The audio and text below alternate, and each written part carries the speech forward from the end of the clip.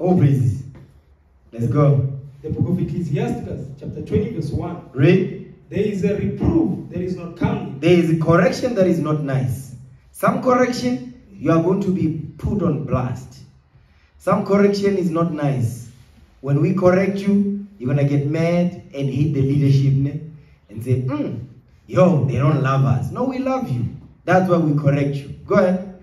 Again, some man holdeth his tongue. Some men, some men do what? Some man holdeth his tongue, Come on. and he is wise. So when you get corrected, the Lord says, hold your tongue. When you get corrected, don't be talking back.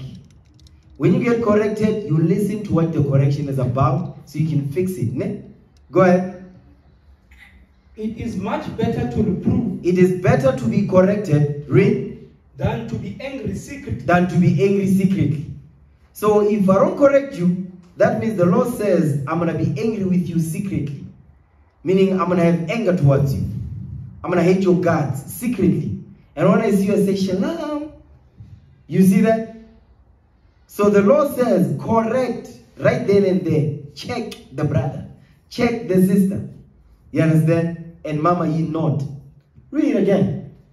The book of Ecclesiasticus, chapter 20, verse 2. Go ahead. It is much better to reprove It's better to correct than to be angry secretly. than to be angry secretly. Yeah, I know you sisters, you listening to me now. Yeah. Me, I'll correct you. So that I don't I'm not angry with you secretly. But it's out of love. So when you get corrected, don't take it personal. Don't say we hate you. We love you. That's why we correct you. Ne? Do you understand that? Brothers too.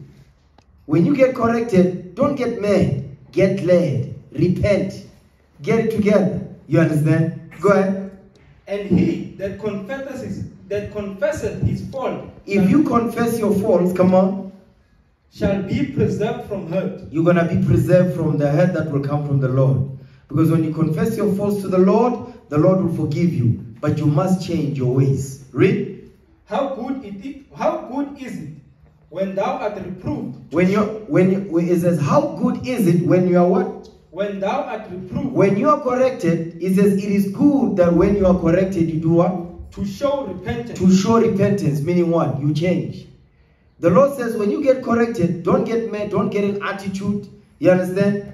Don't be changing your face, looking mad, looking ugly. Okay, go ahead. For so thou shalt shalt thou escape willful sin. You're gonna escape willful sin because if you get mad when you get, get corrected, obviously you're not gonna change. Therefore, you will not escape willful sin. Meaning, because willful sin is you sin knowing that this thing is wrong, you do it anyway. You're not gonna escape that, the Lord is saying. Meaning, there's no more sacrifice for sins. You understand? Go ahead. As is the last of an as is the last of an eunuch to devour a virgin. So the last of a eunuch is to devour a virgin. You understand? Because a eunuch is a man who, who don't deal with women. You understand? But his last is to deal to what? To deal with a virgin who has not been a woman who has not been touched or defiled. Come on. So is he that executed judgment with violence. You see that? So is the same one that executed judgment with violence. So when you execute judgment with violence means you were angry secretly. You snapped. Okay, come on. There is one that keepeth silence There's one that keeps silence and is found wise. and is found what? And is found wise. That's why it's, it's important not to run your black mouth. Always just be running your mouth. The Lord says, some a lot of the times, you want, give me James 122. Now that we're on this, James 122, watch this. James chapter 1 verse 22. Watch this. Listen to what the Most High God is saying. This is the Apostle James. Here's what he said.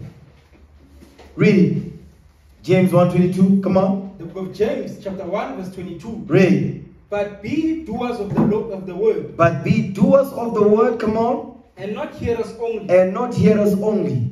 Don't be a hearer of the word, but be a doer of the word. Apply what is written. Read. Deceiving your own self. Deceiving your own selves. Because when you hear but you don't apply, you deceive yourself.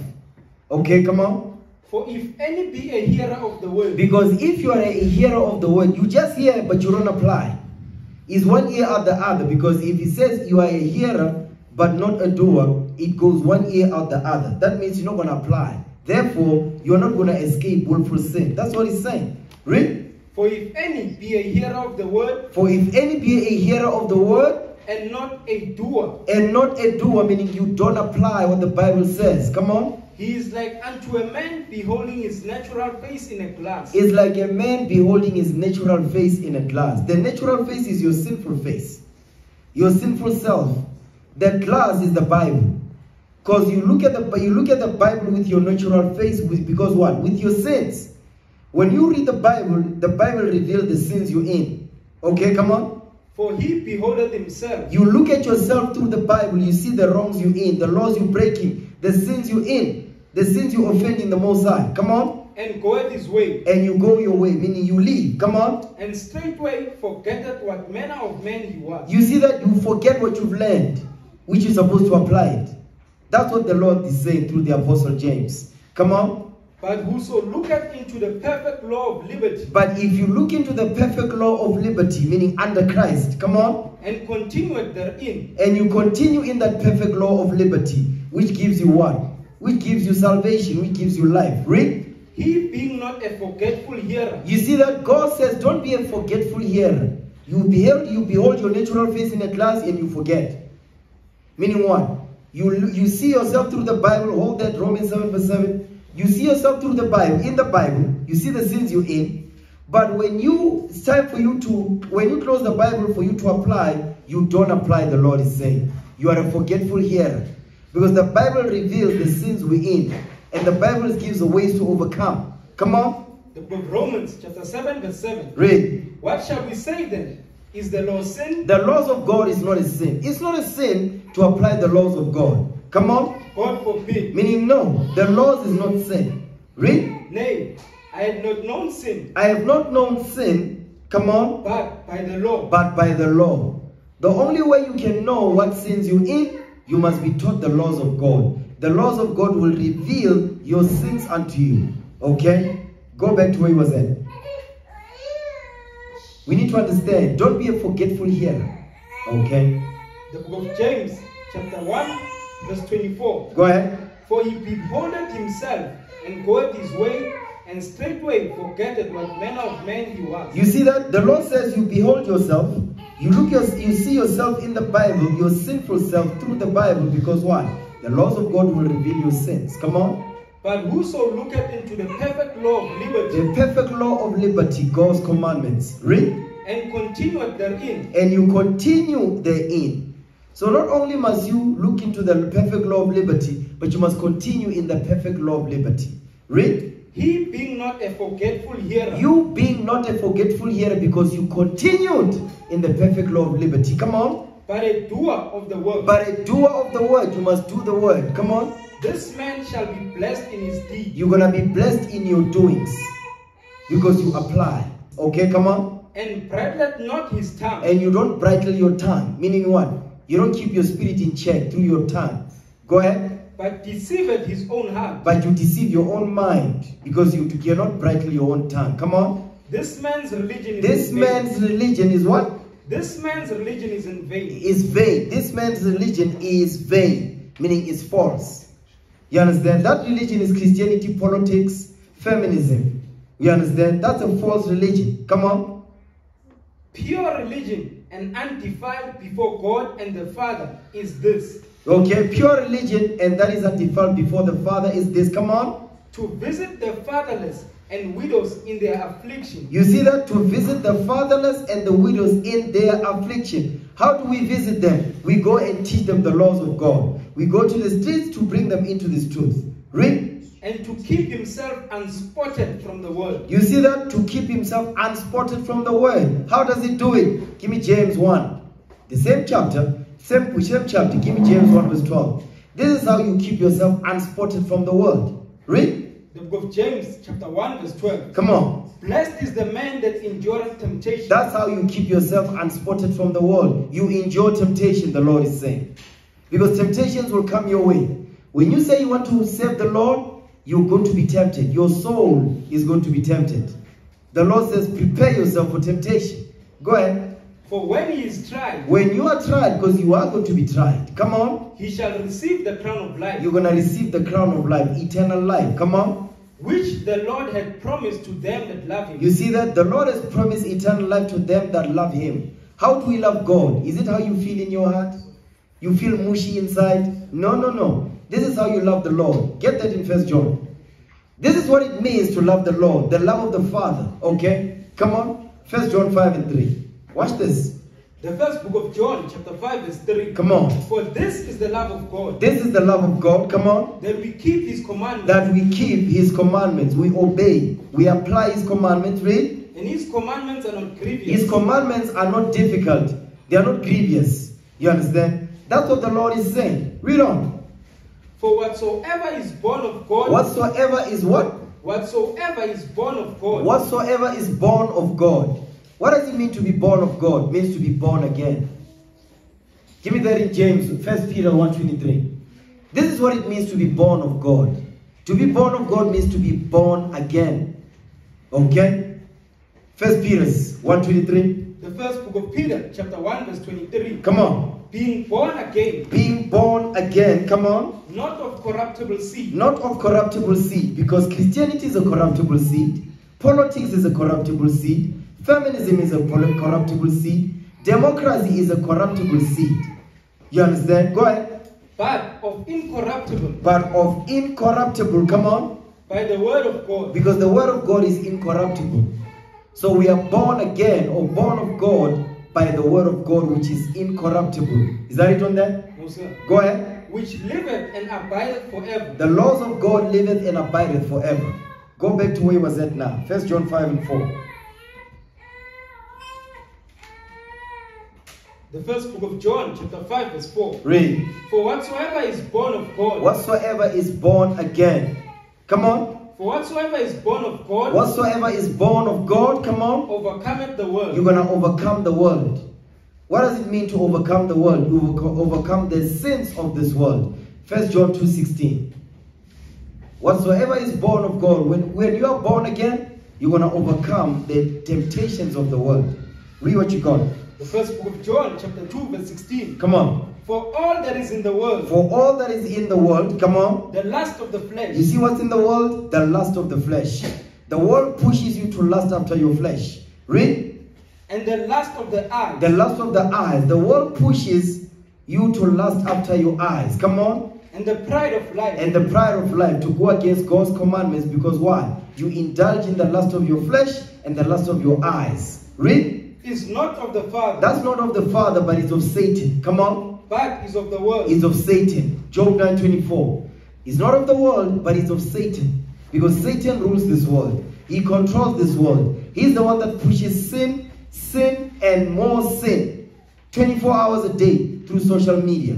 Okay? Read that. The book of Job, chapter 9, verse 24. Come on.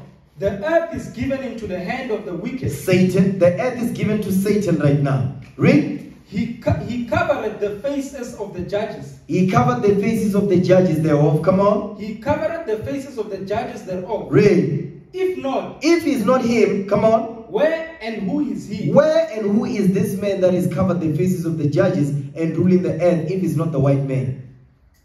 That's what the Lord is saying right there. Go back to 1 John 5 and 4. We need to understand correction is good, chastisement is good. When you are corrected, don't get mad, don't hold grudges. You understand? Don't have an evil eye towards your brother because he corrected you. Read what you got. The first book of John, chapter 5, verse 4. Read. For whatsoever is born of God Whatsoever is born again, read. overcometh the world. You're going to overcome the lust of the world, the lust of the flesh, the lust of the eyes, and the pride of life, which is not of the Father, but it's of the world, but it's of Satan. Read. And this is the victory This is the victory, come on, that overcometh the world. that overcometh the world. You see, the Apostle John just says, overcometh the world. The world goes into what what's in the world sin, evil, deceit. You understand? So, our job, brothers and sisters, is to fight against all evil, within and without. You understand? Because why? We are the 12 tribes of Israel. We must repent. Our job is to return back to the Bible and do what it says. Go back to Sirach 20. Verse 3 again. The book of Ecclesiasticus, chapter 20, verse 3. Come on. How good is it when thou art reproved How good is it that when you are corrected, read, to show repentance? you must show repentance. How do you repent? Get that in Acts 3.19. It is good when you are corrected for you to show repentance. But it is not good that when you are corrected, you hold grudges. When you get corrected, don't hold grudges. Repent. You understand? Read that. Acts 3.19. The book of Acts, chapter 3, verse 19. Read. Repent ye therefore. Do what? Repent ye therefore. Repent ye therefore, come on, And be converted. and be changed. So when you repent, you get converted. Let's get that in Psalms 19, verse 7. Let's see what changes us. When somebody says, I'm born again, but they're still wearing pants as a sister. When somebody says, I'm born again, but they're still smoking weed. You understand? They're still smoking nyaope. You understand? They're still eating pork. They still hate their neighbor. They are not repentant. They are not born again. Read what you got. The book of Psalms, chapter 19, verse 7. Read. The law of the Lord is perfect. The laws of God, they are perfect. There's nothing wrong with the laws of God. That when the law says, thou shalt not covet, that's a perfect law. When the law says, don't steal, that's a perfect law. When the law says, love your neighbor as yourself, that's a perfect law. When the law says, don't look at, don't have an evil eye towards your brother, that's a perfect law. When the law says, don't hold grudges against your neighbor, that is a perfect law. There's nothing wrong with that. Read. Converting the soul. The laws of God will change your spirit, will change your mind, the way you think. Read. The testimony of the Lord is sure. The testimony of the Lord is sure, 100%. Come on. Making wise the simple. Because as a nation, we're simple. We need the laws of God to be wise. God says we're stupid, we're dumb. So in order for us to be wise, we need God's commandments. Okay? Go ahead. the statutes of the Lord are right, The statutes of God are right. Come on. rejoicing the heart. They rejoice the heart. Because the laws of God are supposed to bring joy unto you. When you read the laws of God that says, thou shalt not, and when you get mad, you're not going to get blessed. You're not going to overcome. So therefore, you're not going to have the spirit of joy. The reason why you see a lot of brothers and sisters, they're always grumpy. They're mad as hell. You understand? They're always like they're in deep thought is because they hate the laws of God. It, that's the reason. Then you you always hey is, is everything okay, bro? Sis, are you fine? I'm fine, sir. Okay. Mm-hmm. Bad attitude. You understand? Terrible character is because you hate God's commandments. That's why you're not gonna have joy. You have to have joy in the laws of God. The same way you go to the doctor, you sick. The doctor says, "Hey, brother, such and such, Mister such and such, you've got a illness and such and such. This is the medication that's gonna heal you." Listen, joy comes into your heart because you know you're gonna be better. But for some ungodly reason, when it comes to God's commandments, we don't think the same way. You don't think the same way. Isn't it that you're supposed to find joy when the laws of God come out? Because it's supposed to heal you the same way you go to a doctor. You understand? The doctor says, Don't worry, we got you. You are very excited because now you are able to shine 6 9. Hmm? But when it comes to God's commandments, you have hatred in your heart. Now, when the scriptures come out by the prophets, say, Bruh, you need to repent. This thing of holding grudges and all that, you're going to self destruct. No, but they hate me. No, but you cannot tell me what to do. No, but you cannot talk to me like that. Shut the hell up, sit in some corner somewhere. And take the, medica- the medication and be healed. But you see the point? That's what we do. Because we're sick in the head and mad in the stomach. Now read the Bible again. The book of Psalms, chapter 19, verse 8. Read. The statutes of the Lord are right, The statutes of the Most High God, they are right. Read. Rejoice in the heart. They're doing what? Rejoicing the heart. If you find yourself not having joy, when a little mood swings, guess what? You hate God's laws. You don't believe that the laws of God is going to change you. That means you're not a new creature in Christ. You're still that old, wicked, grumpy Negro that you was in the world. Go ahead. The commandment of the Lord is pure, The commandments of God, they are pure. They are pure. They are perfect. Come on. enlightening the eyes. They're going to enlighten your eyes. You're going to see spiritual things in this book. You're going to see the sins you're in so you can repent and get your life right. Go ahead. The fear of the Lord is clean, The fear of the Lord is clean, is clear. Come on. enduring forever. Endures forever. Read. The judgments of the Lord are true The judgments of the Lord are true and what? and righteous And righteous. Come on. All together. All together. Meaning what? There's nothing short in the laws of God. Go ahead. More to be desired are they than gold. Stop right there. Read it again. What did he say? More to be desired. That the laws of God are to be more desired. You ought to desire the laws of God more than what? than gold. Than gold. Because the laws of God, they are precious than gold. God's laws are precious than any mineral, any precious mineral you can find on this earth. The laws of God, they are better. Always.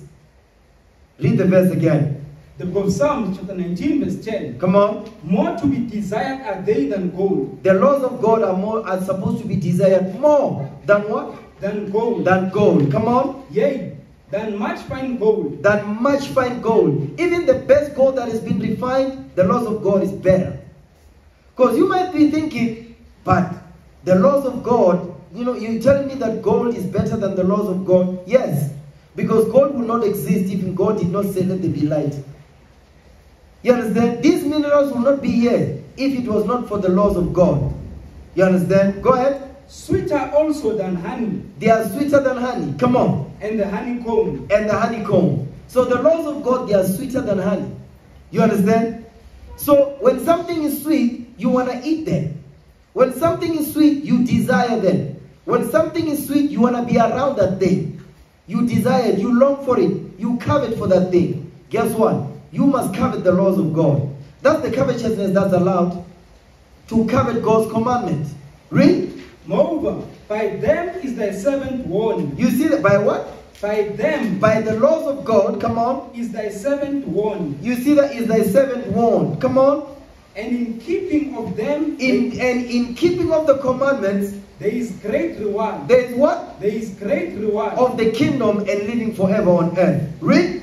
Who can understand his errors? Who can understand his errors? Come on. Cleanse thou me from secret faults. Read again, read again. What verse you in? Verse 12 says, Read again. the book of Psalms chapter 19 verse 12. Read. Who can understand his errors? Read. Cleanse, cleanse thou me from secret faults. Because guess what?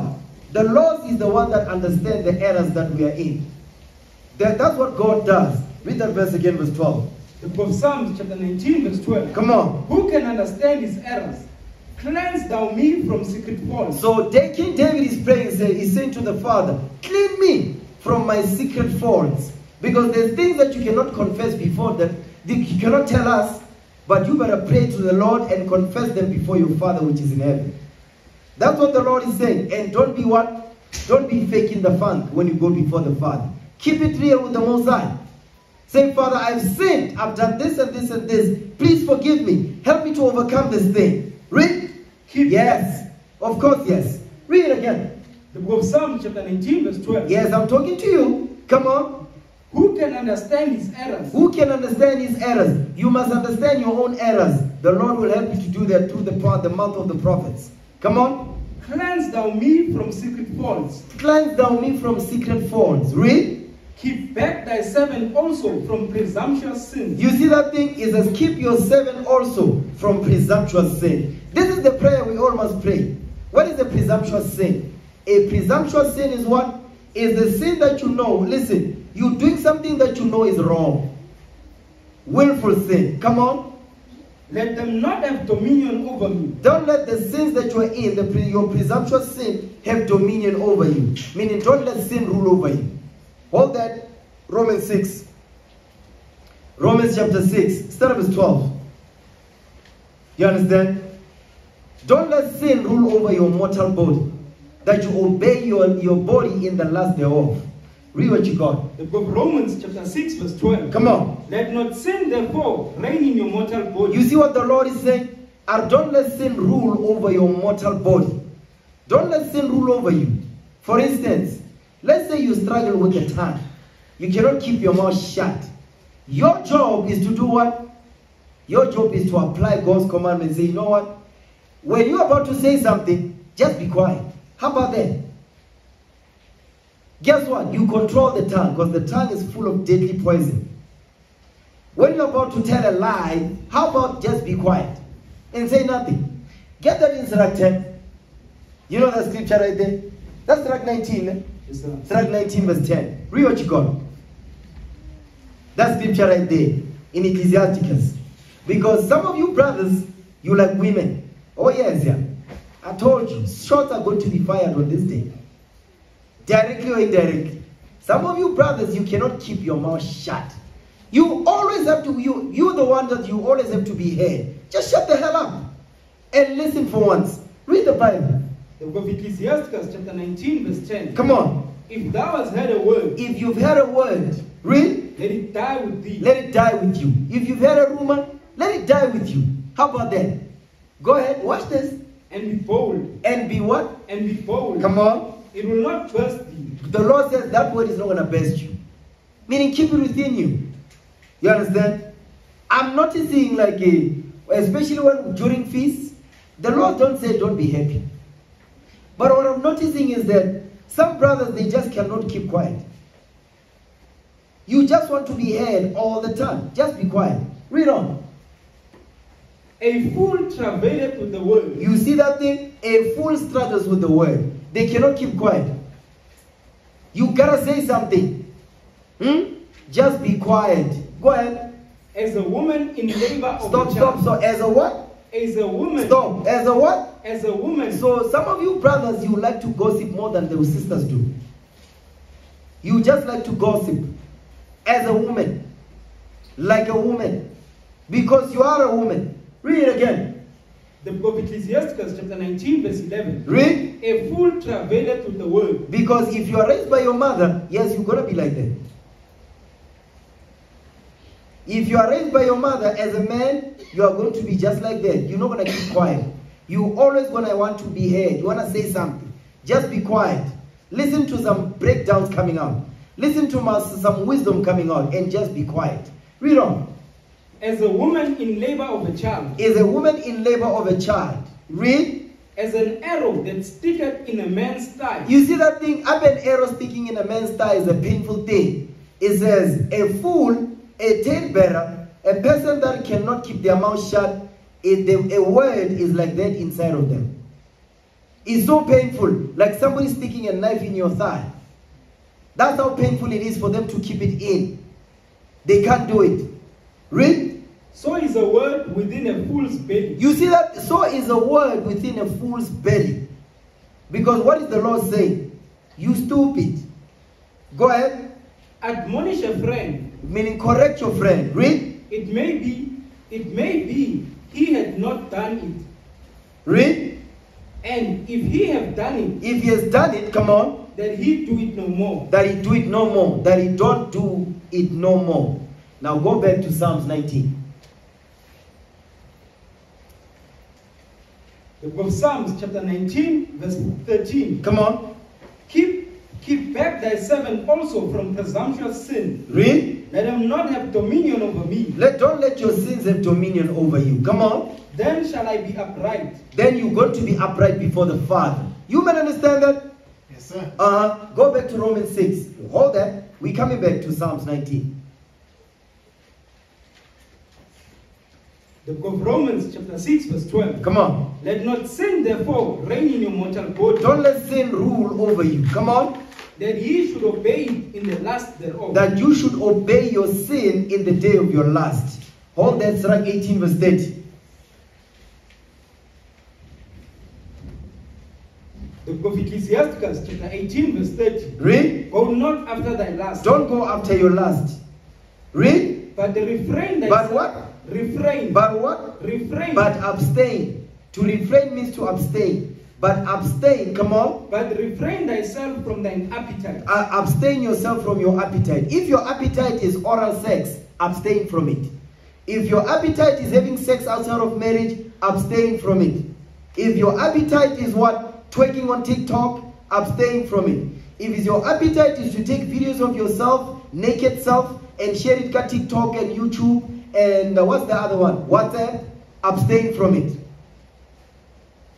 You understand?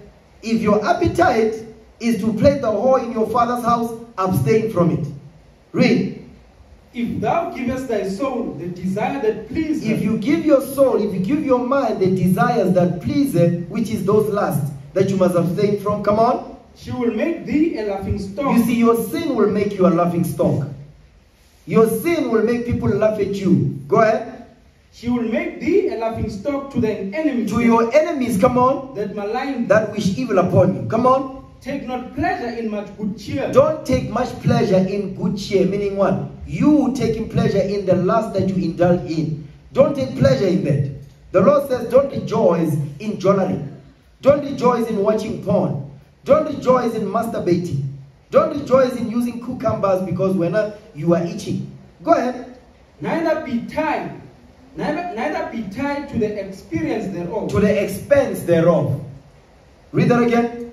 The book of Ecclesiasticus, chapter 18, verse 32. Read. Take not pleasure in much good cheer, Don't take much pleasure in good cheer. Come on. neither be tied to the expense thereof. Don't be tied to the expense thereof because guess what? You're going to waste yourself in that sin. Go ahead. Be not made a beggar by banqueting upon borrowing. Okay, that's it on that. Go back to Psalms 19. What verse we at? Verse 12. Is that verse 12? Verse 13. Read verse 13. Come on. The book of Psalms, chapter 19, verse 13. Read. Keep back thy servant also from presumptuous sin. You see what? This is King David. He's praying in the spirit here. Come on. Let them not have dominion over me. Don't let your sins have dominion over you. He's praying to the Most High. Come on.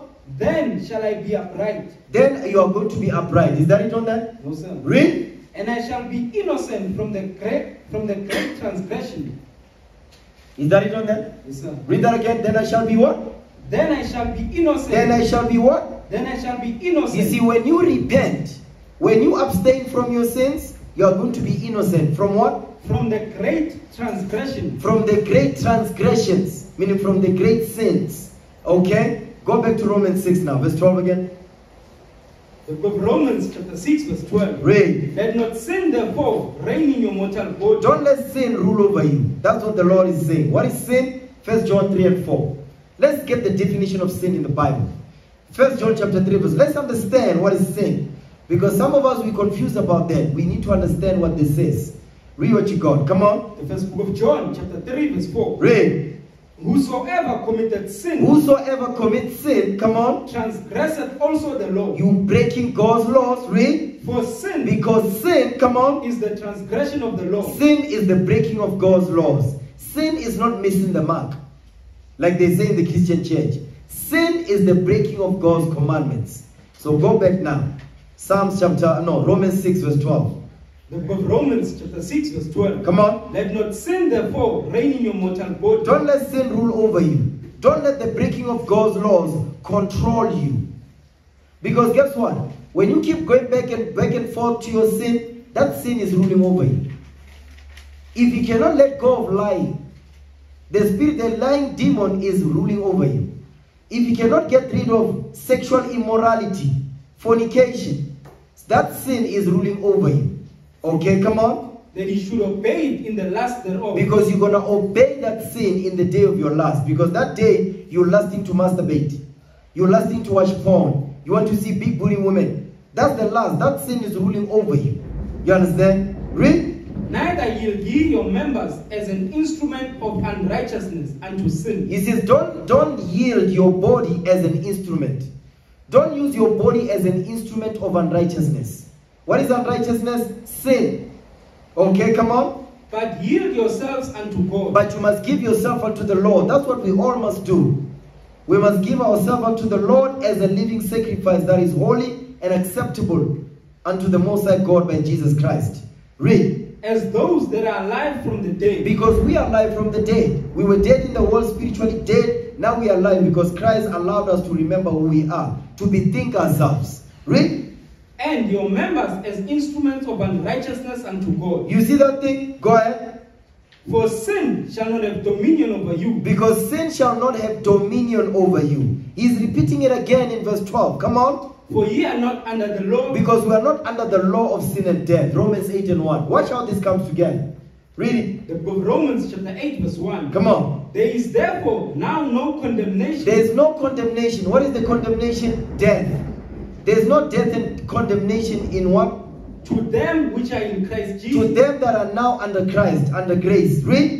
who walk not after the flesh, Who walk not after the law of animal sacrifice. Come on. but after the Spirit. But after the Spirit. John 6 63. Let's get there. Let's understand what is the Spirit. There is no condemnation to them of us that are in Christ Jesus.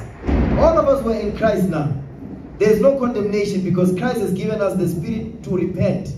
You understand? He's given us the grace period to get it together. Read it. The book of John, chapter 6, verse 63. Come on. It is the Spirit that quickens. It is the Spirit that quickeneth. Come on. The flesh profited nothing. The flesh will not profit you nothing. Sin is not going to profit you. Read. The words that I speak unto you, The words that Christ spoke unto us, they are what? they are spirit They are spirit, come and on, they are life. and they are life.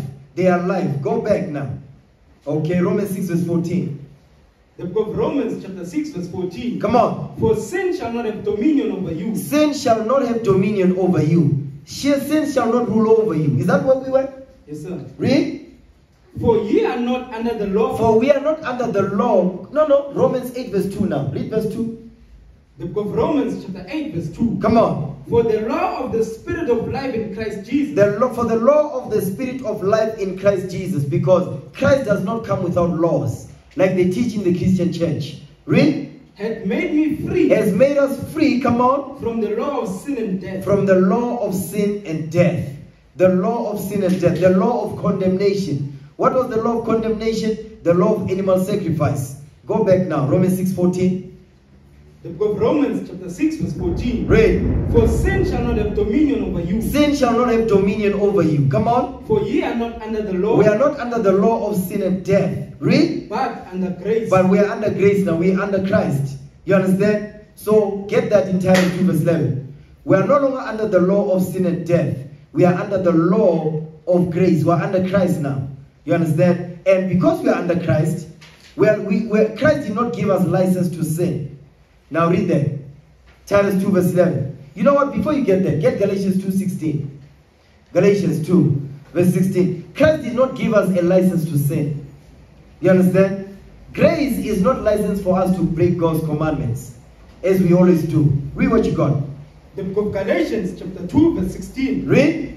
Knowing that a man is not justified by the works of the law, And many, we are not justified by the works of the law. What was the works of the law? Animal sacrifice. Read. but by the faith of Jesus Christ. But us having faith in the sacrifice that Christ made. Read. even we have believed in Jesus Christ, Even we have believed in Jesus Christ. We believe in Christ. Come on. that we might be justified, That we, that we, that we, the Israelites, the 12 tribes, we might be what? might be justified we might be justified. Justification goes into forgiveness.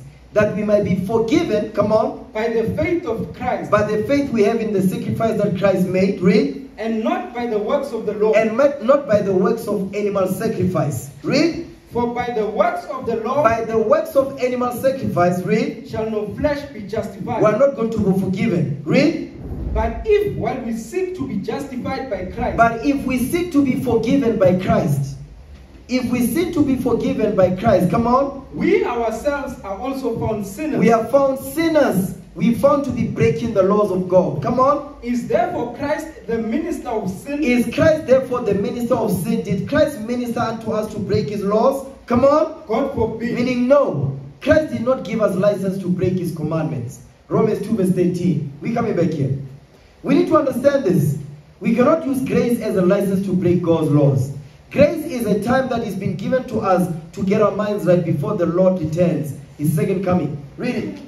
The book of Romans chapter 2 verse 13. Come on. For not the hearers of the law are just before God. The hearers of the Lord are not just before God. Because you cannot be a hearer and not a doer of the word.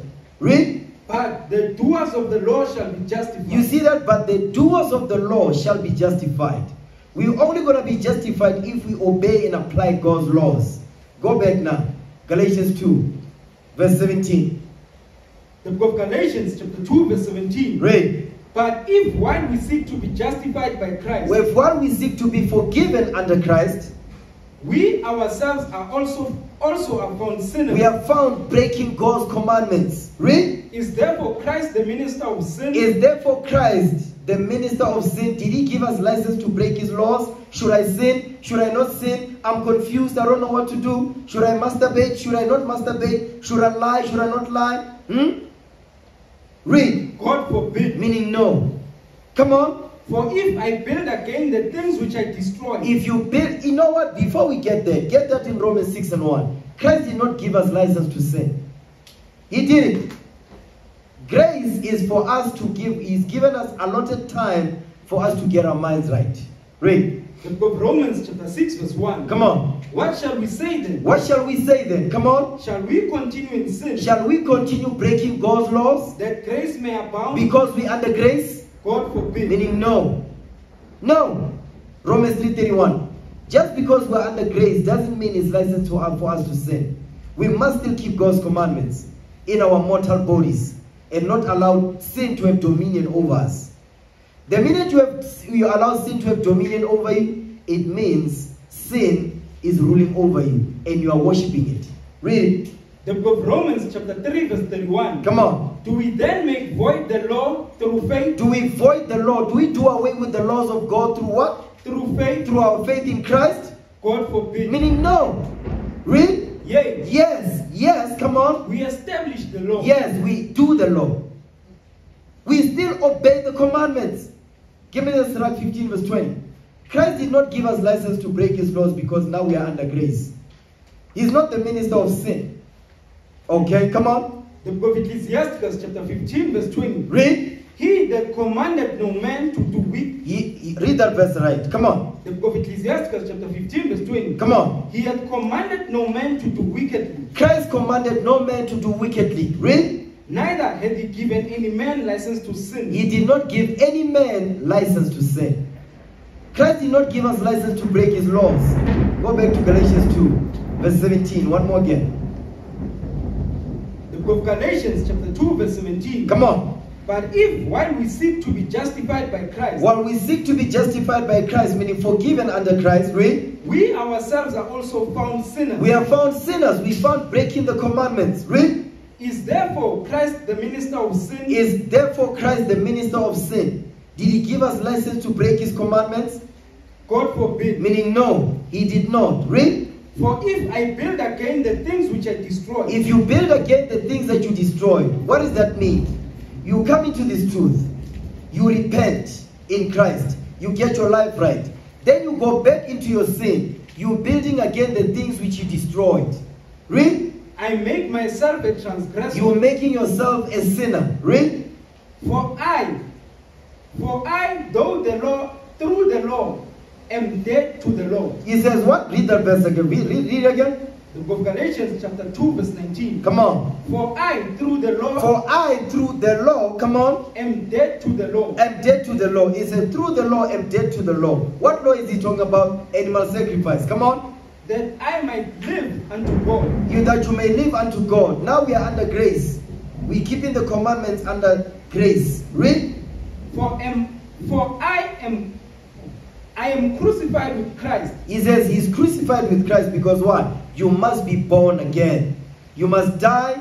You must. You must. The old man must be put to death, so the new man can live. Read. Nevertheless, I live. Nevertheless, I live because now I keep the commandments. Read. Yet not I, but Christ liveth in me. You see that thing? He says, not when you're not yet I, but Christ that now lives in me. What does that mean? Give me that in 2 Corinthians 5, verse 14. Watch this. He says he's not the one doing it, but the Spirit of Christ that's now in him, commanding him to keep the commandments. Read. The second book of Corinthians, chapter 5, verse 14. Read. For the love of Christ constraineth us. The love of Christ, it constrains us. Meaning what? It disciplines us not to do whatever the hell we want. Read. Because we thus judge. Because we thus judge, and as we judges, we cannot be we cannot judge in hypocrisy. Read. That if one died for all, If one died for all, because Christ died for all 12 tribes of Israel. Read. then we're all dead. Then we're all dead. Come on. And that he died for all, He Read all Israel. Read. that they which live should not henceforth live unto themselves. You see that thing? So now that Christ died for us, you know your life don't belong to you. But it belongs to who? Come on. but unto him which But- died, Yeah, but unto him that what? but unto him which died for them, Uh-huh. and rose again. You see that? So now we don't live to ourselves now. We live to the one who died for us and rose again. Likewise, the old man must die just like Christ died, so that the new man can rise and can be born again. Now you are a new creature in Christ now. Keep reading. Wherefore, henceforth know we no man after the flesh. We don't know any man after the flesh now. Why? Because now we are spiritual now. We keep the commandments. Read. Yea, though we have known Christ after the flesh, We have known Christ after the flesh. Read. yet now henceforth know we him no more. We know him no more. Come on, in the flesh. Come on. Therefore, if any man be in Christ, If any man or woman be in Christ, now that we are under Christ, read, he is a new creature. we are a new creature now. That's why I don't want to see nobody walking around being grumpy. The grumpist. We all know that brother right there, mm, he will just, man, is like a cancer. Read it again. The book, second book of Corinthians, chapter 5, verse 17. Read. Therefore, if any man be in Christ, If any man be in Christ, he is a new creature. you are a new creation. So don't come to any of us and say, but me back in the day. I don't want to hear that. You back in the day. No, Christ said, what did the Bible say? Therefore, if any man be in Christ, Uh-huh. he is a new creature. You are a new creature. So you can't say, when I back in the day, this used to happen to you. Not to hell with that. You are a new creature now. Keep the commandments. You are a new creature. Pray for the spirit of joy. You are a new creature. Stop being grumpy. You are a new creature. Stop being depressed. You understand that? It's time to repent. Keep God's commandments. Read on. All things are passed away. Old, old, old, old, the old you, the old nigger is dead. The old ducky is dead. The old you is past. Read. Behold, all all things are become new. Behold, all things now they are become new. Now you're a new creature in Christ now. You understand? You born again. You keep God's commandments. Read. And all things are of God, And all things are of God. Who hath reconciled us to himself by Jesus Christ. You see that thing now? The Most High God, He reconciled us back unto Him through Christ dying on the cross for us. Read. and had given to us the ministry of reconciliation. You see that thing? He gave us the ministry of reconciliation to be reconciled back to the Father. Read. to wit, that God was in Christ, Uh-huh. reconciling the world unto himself, Reconciling the 12 tribes unto himself because we are the world without end. Understand that thing. So go back to Romans chapter 6. Okay? Romans 6. Let's go back there. We need to understand these things, brothers and sisters, because guess what? If you cannot deal with your own personal issues, you're not going to get the kingdom. You must understand that the things that we all going through, those are the things that is standing between you and getting eternal life and and being in the kingdom when the Lord returns. So you have to examine. Self-examination is the solution to this. Self-examination is the gateway to the kingdom. Is the gateway to receive eternal life. Read what you got. The book of Romans chapter 6 verse 14. Come on. For sin shall not have dominion over you, Sin shall not have dominion over you. When you find yourself sin ruling over you, you double-minded, you confused, you don't know whether you should sin or not sin, guess what? The Most High God cannot deal with you yet. Because you are undecided. You're not, you're not sure, should I break this law? Should I not do it? Huh? You confused. Why? Because that sin is still ruling over you. You understand? Go ahead. for ye are not under the law, Because you are not under the law of sin and death. No more. Read. but under grace. Now we are under grace. Now go to Titus 2 verse 11. So we understand what is this grace. Because grace, we understood that grace is not license for us to break God's commandments. The Most High God did not give us license to break His laws. All right? Read what you got.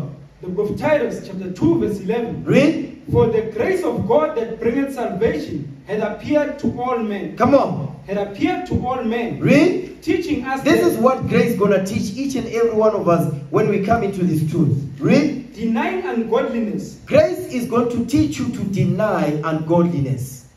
What is ungodliness? Sin. Read. and worldly lust, So grace is a teacher. Grace, the grace of God is supposed to teach us to deny. What does it mean to deny? It means to abstain, to reject. You understand? That's what it means to deny. To deny all manner of ungodliness. That's what grace is supposed to teach each and every one of us. Read. We should live soberly, We must grace supposed to teach you to live soberly. To be sober. Can't be high. Because today we see sisters master magari zamalek. Eh? Kari milk stout. A a whole sister ka ka phuza face. Ka mkhaba wa beer. U tshwere reds. U tshwere ba re keng? Lion lager. We see them now. U tshwere ngutu. That's not a woman anymore. That's a man who's unrepentant. You understand? So eh, I'm just using that as an example. You understand? You see brothers now sagging their pants when we see their underwear. That's not a man. You understand? You don't know what he is. Okay? Blonding their hair, wearing tight pants. Barbara the spandex now. Barbara the leggings. But you know, it's leggings for men. Leggings. That's what's going on today. Give them rap, sagging their pants. They want Fleece Johnson. Read what you got. Keep going. righteously, Righteously, grace is supposed to teach you to live righteously. What does it mean to live, right- to live righteously? Let's get to Deuteronomy chapter 6. Deuteronomy 6, verse 25. The book of Deuteronomy chapter 6, verse 25. Let's get there. It's fine, Wanyana. You can look at the contents. You get used to it. You'll be alright. Alright? You'll be okay. Deuteronomy chapter 6, verse 25.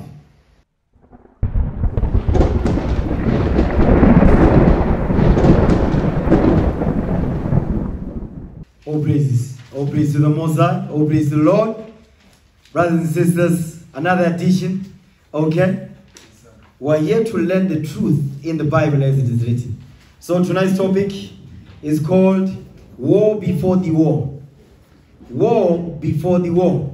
Brothers, we must, we must understand we are at war. The war that we're in is not a physical war, it's a spiritual warfare. We must prepare for that war to come. We must prepare for the war that's coming. But the war that we must prepare for right now is a spiritual warfare. We must be in the battle. And I'm talking to you men particularly now. We must prepare for the war that's coming.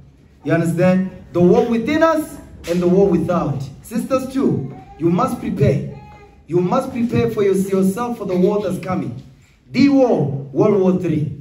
But the war that we must we must be in right now for the preparation of the actual war that's coming, the final war, is the what we're gonna go over tonight. So pay close attention. You understand? And take notes. Alright? Get John 8:32. Let's start with that. John chapter 8, verse 32. Let's get there. The book of John, chapter 8, verse 32. Come on. And ye shall know the truth, And you shall know the truth. Come on. and the truth shall make you free. The truth will set you free. The truth will make you free. Christ is talking to the 12 tribes of Israel. Jump up to verse 31 now.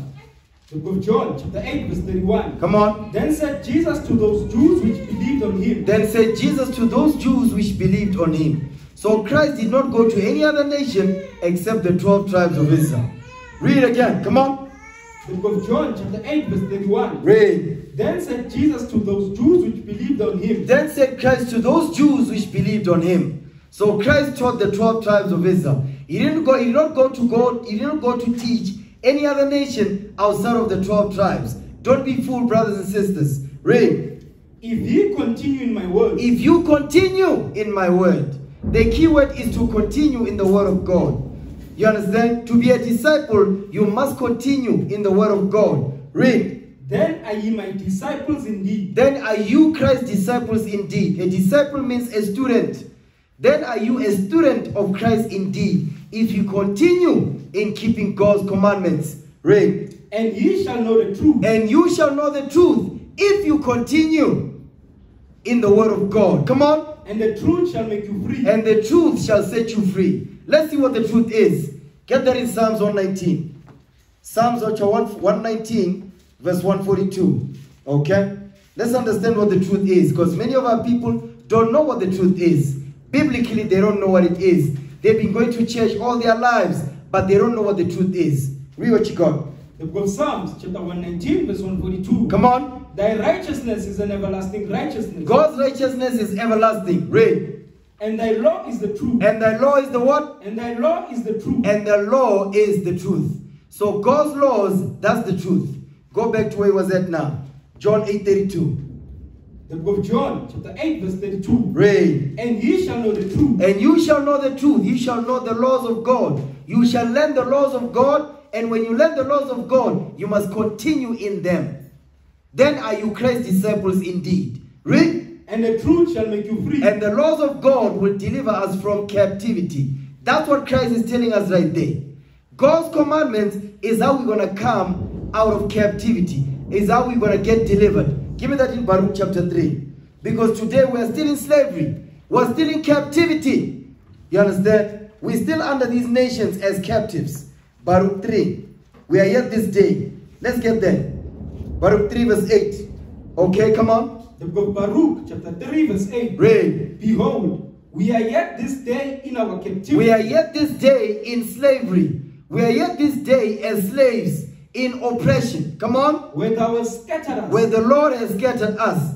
Come on. for a reproach and a curse. For a reproach and a curse. Because now we become a reproach and a curse to these nations. Read. and to be subject to payment And we are subject to payments. Come on. According to all the iniquities of our fathers. According to the what? according to all the iniquities of our fathers. According to all the sins of our forefathers. Read. which departed from the Lord our God. Because our forefathers departed from God's commandments that He taught unto them. So today, as the children, guess what? We're going through the same fate. We're under the same curses. We're under the same judgments. Why? Because of what? Because of sin. Breaking of God's laws. Go back to John 8, verse 32 again.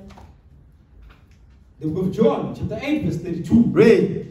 And ye shall know the truth, And you shall know the laws of God. Come on. and the truth shall make you free. And the laws of God will deliver you from captivity. Because we are yet this day in our captivity, where the Lord has scattered us in South Africa. Come on. they answered him, We be Abraham's seed, They, the scribes and Pharisees answered him, says, We are Abraham's seed. Read. And were never in bondage to any man. Because they were living better than the rest of the Israelites. That's why it says, We are never in bondage to any man. Hold that, John 11, verse 47. Because the scribes and Pharisees, they were living better than the rest of Israel. That's why they didn't believe that they were in slavery. They didn't believe that they were in captivity. They didn't believe that. Read that. the book of John, chapter 11, verse 47. Come on. Then gathered the chief priests and the Pharisees a council, Come on. and said, What do we? For this man doeth many miracles. For this man doeth many miracles. Come on. If we let him thus alone, If we let him thus alone to continue to do these many miracles, read, all men will believe on him. all men of Israel will believe on him. Come on. and the Romans And the what? and the Romans And the Romans, because they answered to Rome. Rome was looking after them. You understand? Rome was their Uncle Tom. Read. shall come and take away both our place And he said, The Romans shall come and take away both our place, meaning in society. You understand? And what? and nation. and nation. You see that? So the only thing they cared about was their place in Roman society and the benefits that came with that. That's all they cared about. They didn't give a damn about their people. That's why they said, we are never in bondage to any man. Why? Because they thought because they are living better than the rest of Israel, they are not in slavery. That's the same thing many of our people are doing today. That's the same mindset they've got, and they are wrong. Go back. John 8, verse 33 again. the book of John, chapter 8, verse 33. Read. They answered him, We be Abraham's seed. We be Abraham's seed. That's what they said. We are the seed of Abraham, which was correct. Come on. and were never in bondage to any man. Because they were living better than the rest of the Israelites. Read. How sayest thou, ye shall be made free? You see that thing? Because they didn't believe that they were slaves.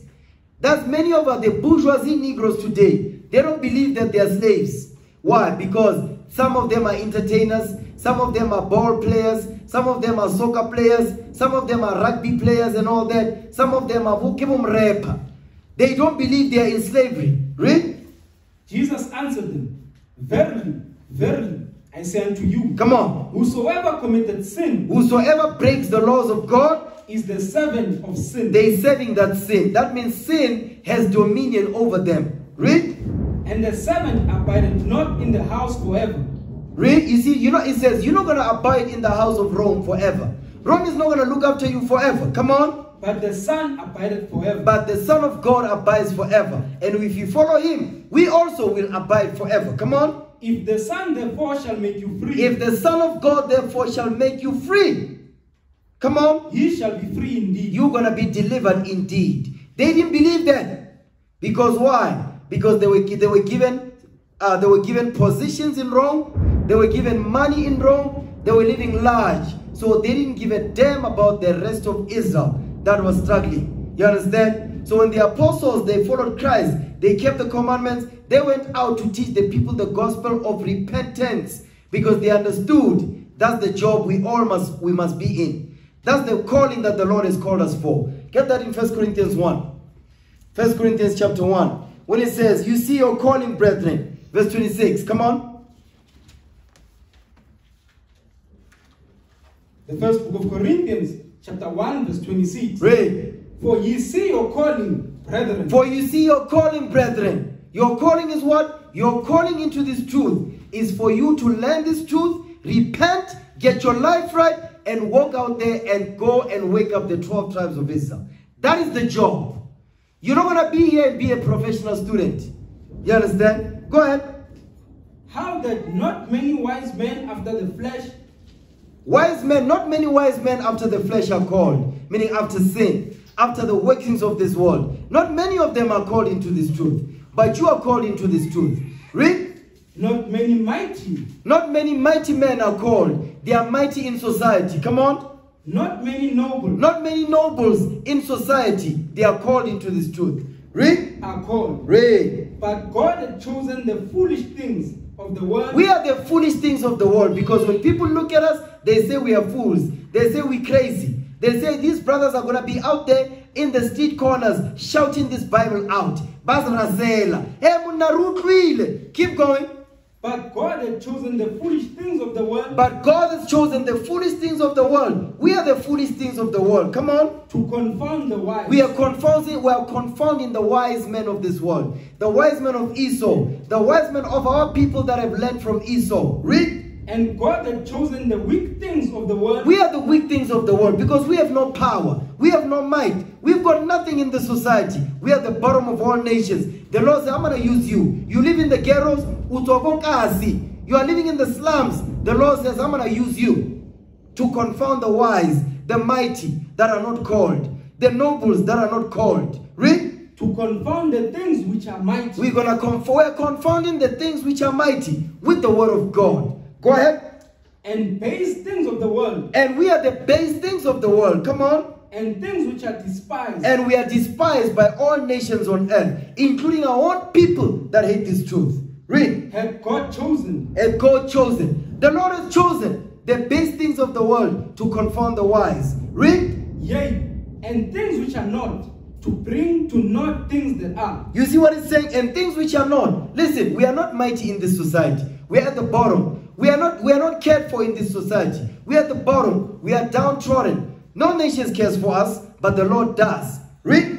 that no flesh should glory in his presence You see that thing? The flesh that glory in the in the present is what? The, the, the, the proud men. Those that are in the world. Those that speak lawfully concerning oppression. Read. but of him are ye in Christ Jesus Uh-huh. We are in Christ now. Come on. who of God is made unto us wisdom Read.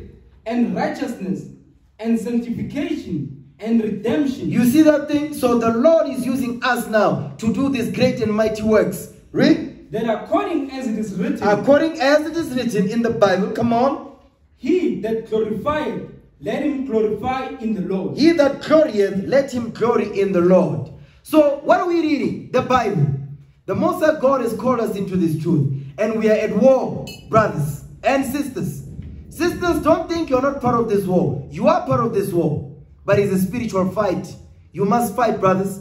You have to war. You must war in this Bible. You must learn to fight the good fight of faith. Understand that thing. Read that verse again. The book of Romans, the, the first book of Corinthians, chapter 1, verse 31. Go ahead. That according to according as it is written, he that glorieth, let him glory in the Lord. We must glory in the Lord, not in ourselves, but in the Lord. Understand that thing. We are at war. We are under attack. The nations, they want to overthrow and destroy us. You understand? But the Lord is with us. You understand? We must trust in the Lord. Because the Most High God will give us the victory. Understand that thing. Now, watch this. Give me the book of Psalms, chapter 50, verse 20. Because when you examine us as a nation, the nations don't give a damn about us. You understand? The nation don't care about us. And they don't think we can rise up and take over the kingdom and get our kingdom back.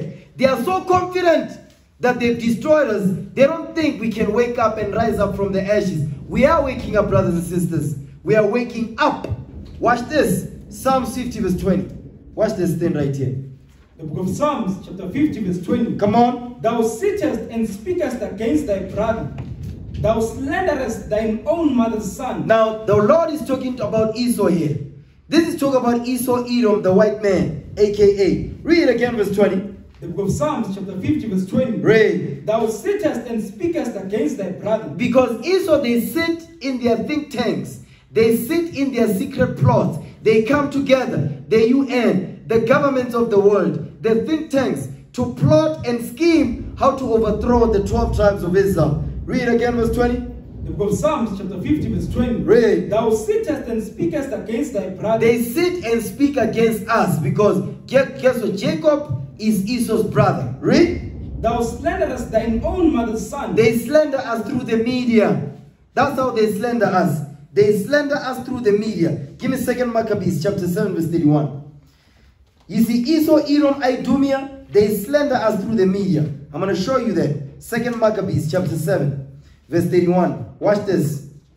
The second book of Maccabees, chapter 7, verse 31. Read. And thou that hast been the author of all mischief against the Hebrews. Read that again. What did you say?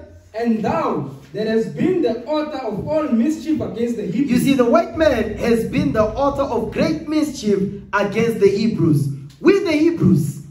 He's been the what? The author of mischief against us. They slander us through the media. They say we are a hate group. They say we are anti-Semitic. They say we're teaching hate when we're teaching strictly biblical. Read again. Verse 31. The first book of Maccabees, chapter 7, verse 31. Read. And thou that has been and, and that has been the author of all mischief against the Hebrews. You see that thing? They've been, they've been the author of all mischief. All mischief against us, the Hebrews. Read.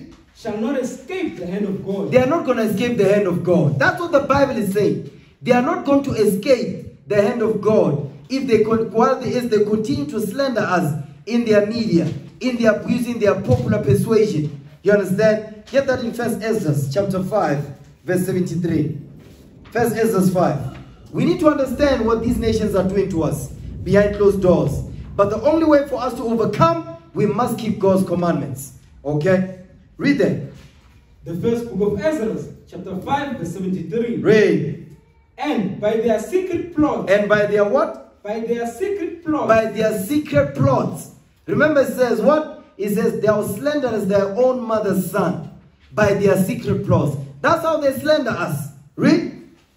and popular persuasions, And popular persuasions. That's their media. You understand? That's their news media, their news channels. That's their social media. That's how they slander us. And they use our own people to slander us too. Through what? Through music. Through entertainment. Through movies. Look at that demonic movie called The Woman King. What is that? They are slandering us. You understand? Read that verse again. the first book of Esdras, chapter, si- chapter 5, verse 23. Read. And by their secret plots Read. and popular persuasions And popular persuasions. Come on. and commotions, and commotions. They're causing great, great commotions on the media, in the media. Come on. they hindered the finishing of the building all the time that King Cyrus lived. You see what the objective is? Is to hinder us from rebuilding our nation back up. That is the whole objective behind this. Read. So they were hindered from building for the space of two years. Now we are we are what? We are hindered from building. That's why now if you notice what are they doing to our YouTube videos? they're shutting them down. Our, our, our Instagram posts, they are blocking us. You understand? They are shutting our accounts down. But guess what? They don't understand the Most High God has a, has, a, has, a, has a plan. That plan is what? Give me that in Luke 14 23. This is the plan right here. Whatever Esau does, whatever the secret plots that is planning to do, that they are already executing behind closed doors, they are shutting down our pages and all that. Listen, the Most High God has a bigger plan than Esau has. Luke 14 23. This is the plan. And Esau will not be able to stop this. The train is already in motion. Read what you got. The book of Luke, chapter 14, verse 23. Read. And the Lord sent, said unto the servant, Read. Go out into the highways and hedges. He says, Go out into the what? Into the highways and He says, Go out into the highways and hedges. Go to the street corners. Hit the streets. Because that's what we're doing. From sun up to midnight, we teach the gospel. You understand? More than 15 hours standing up, teachings from sun up to sundown, precept upon precept, educating our people. So Esau will not be able to stop this. Read again. The book of Luke, chapter 14, verse 24. Read. Verse 23. Come on. The book of Luke, chapter 14, verse 23. Read. And the Lord said unto the servant, Go out into the highways and hedges, Go out into the highways and hedges. Come on. and compel them to come in, compel the 12 tribes of Israel to come into this truth. Read. that my house may be filled. That the house of Israel may be filled with all 12 tribes of Israel, sons and daughters. Okay? Is that it on that? Yes, sir. Now, go back to where was it now? You know what? Give me, give me that in Proverbs 1. Watch this. Proverbs chapter 1. Whatever secret plots they've got, they are not going to work. Proverbs chapter 1. Watch this. Verse 20. The book of Proverbs, chapter 1, verse 20. Read. Wisdom cried without. Wisdom cried without. Wisdom cried without. Where? Come on. She uttered her voice in the street. In the what? In the streets. In the highways and hedges. In the streets, the highways and hedges. Come on. She cried in the chief places, in the chief place of the cause. In, in, in the chief places of concourse. Read. She cried in the chief place of concourse, Come on. in the openings of the gates. In the opening of the gates. Come on. In the city, she uttered her words. You see that in the cities she uttered the words. In the cities where the 12 tribes of Israel are scattered. In the Kasis, in the Lokshins, that's where we're going. You understand? In the parks, we teach the gospel. Wherever people are, that's where we go. The flyer missions that we're doing. Guess what? The Most High God is with us, brothers. Esau is not going to be able to stop this thing. He's not going to be able to stop this great movement on planet Earth that the world has never seen. Go back to where he was at now. Go back to Psalms 50, verse 20 again.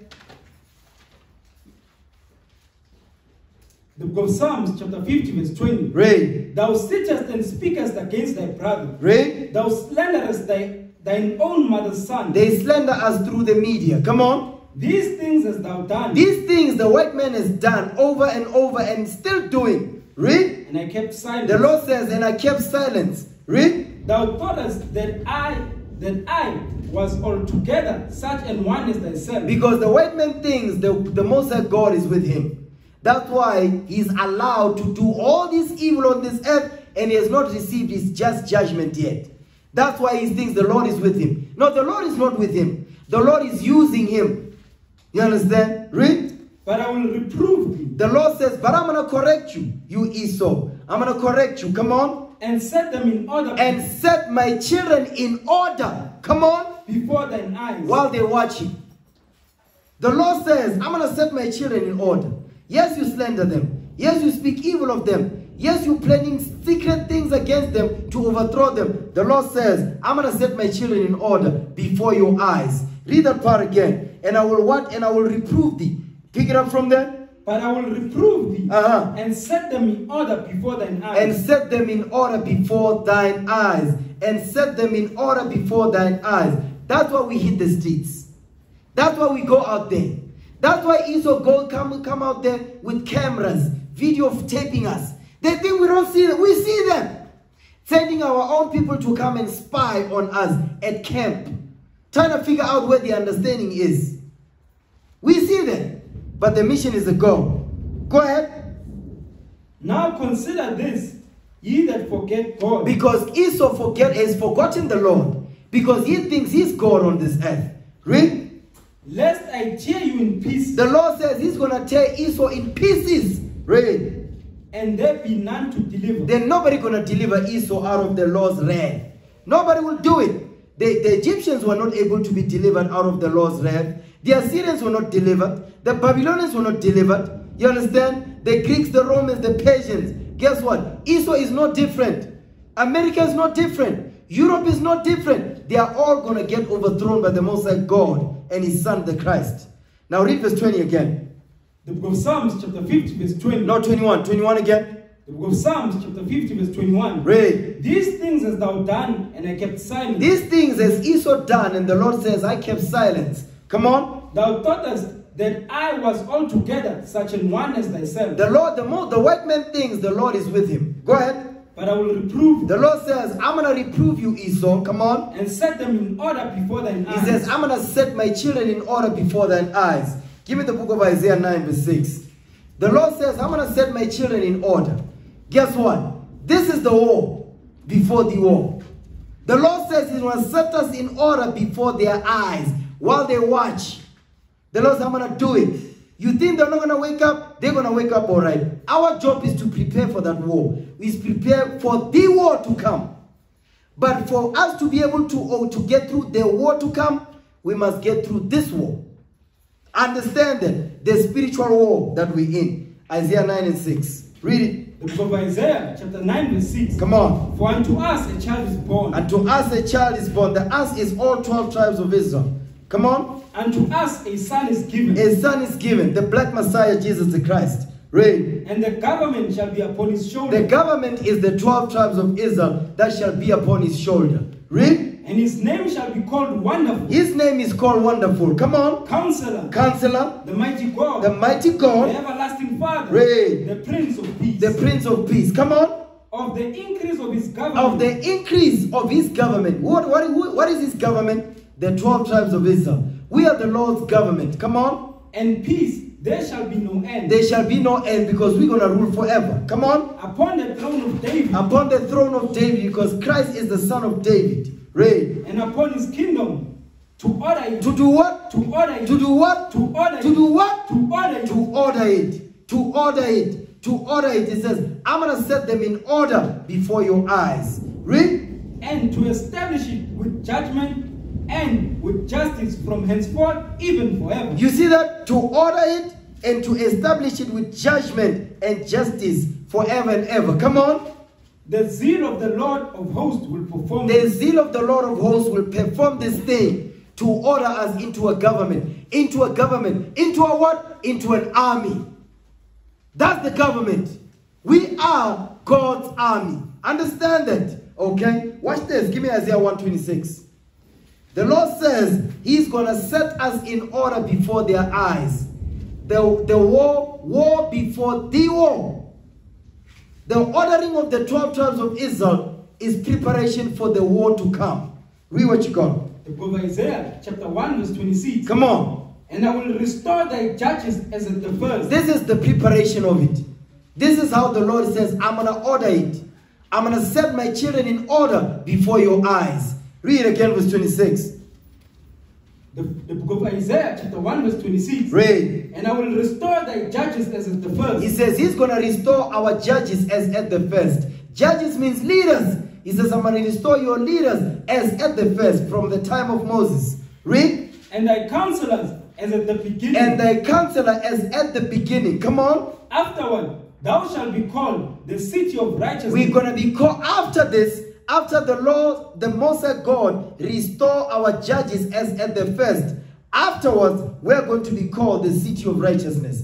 Right now, we're not called the city of righteousness. The nations don't call us wise. The nations call us niggas. They call us duckies. They call us kafirs and blackies. That's what they call us. They don't call us wise. Why? Because the Most God is still restoring us back to honor. He's still restoring the what? The army that we are. Read again, verse 26. The book of Isaiah, chapter 1, verse 26. Read. And I will restore thy judges as at the first, Come on. and thy counselors as at the beginning. Read. Afterward, thou shalt be called the, the city of righteousness, the faithful city. the faithful city. That's why he's saying right there. Give me that in Deuteronomy 4. Deuteronomy chapter 4. Because right now, the nations don't call us the city of righteousness. They don't call us that.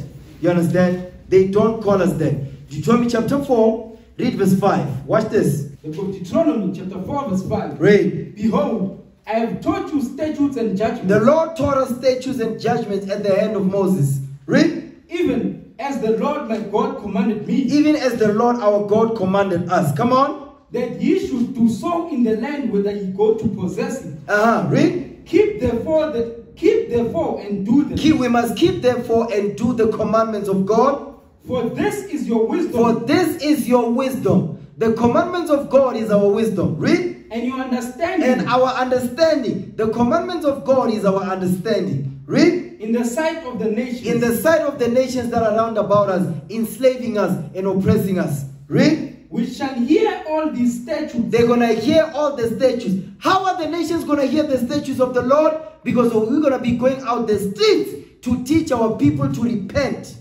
That's how the nations are going to hear these statutes at the mouth of the holy prophets on the street corners. Read. and say, Surely this great nation This great nation, come on, is a wise and understanding people. that's what the nations will say.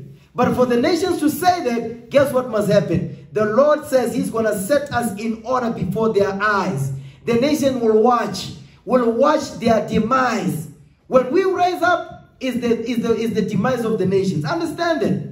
When the nations see Israel wake up, guess what? Is death unto them, is fear unto them, because they know those nations, these people that we destroyed and oppressed and been slandering all over, guess what? They're waking up now.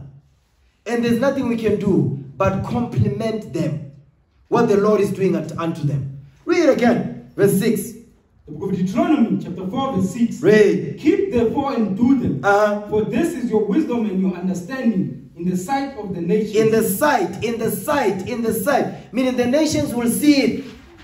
The nations will see Israel waking up.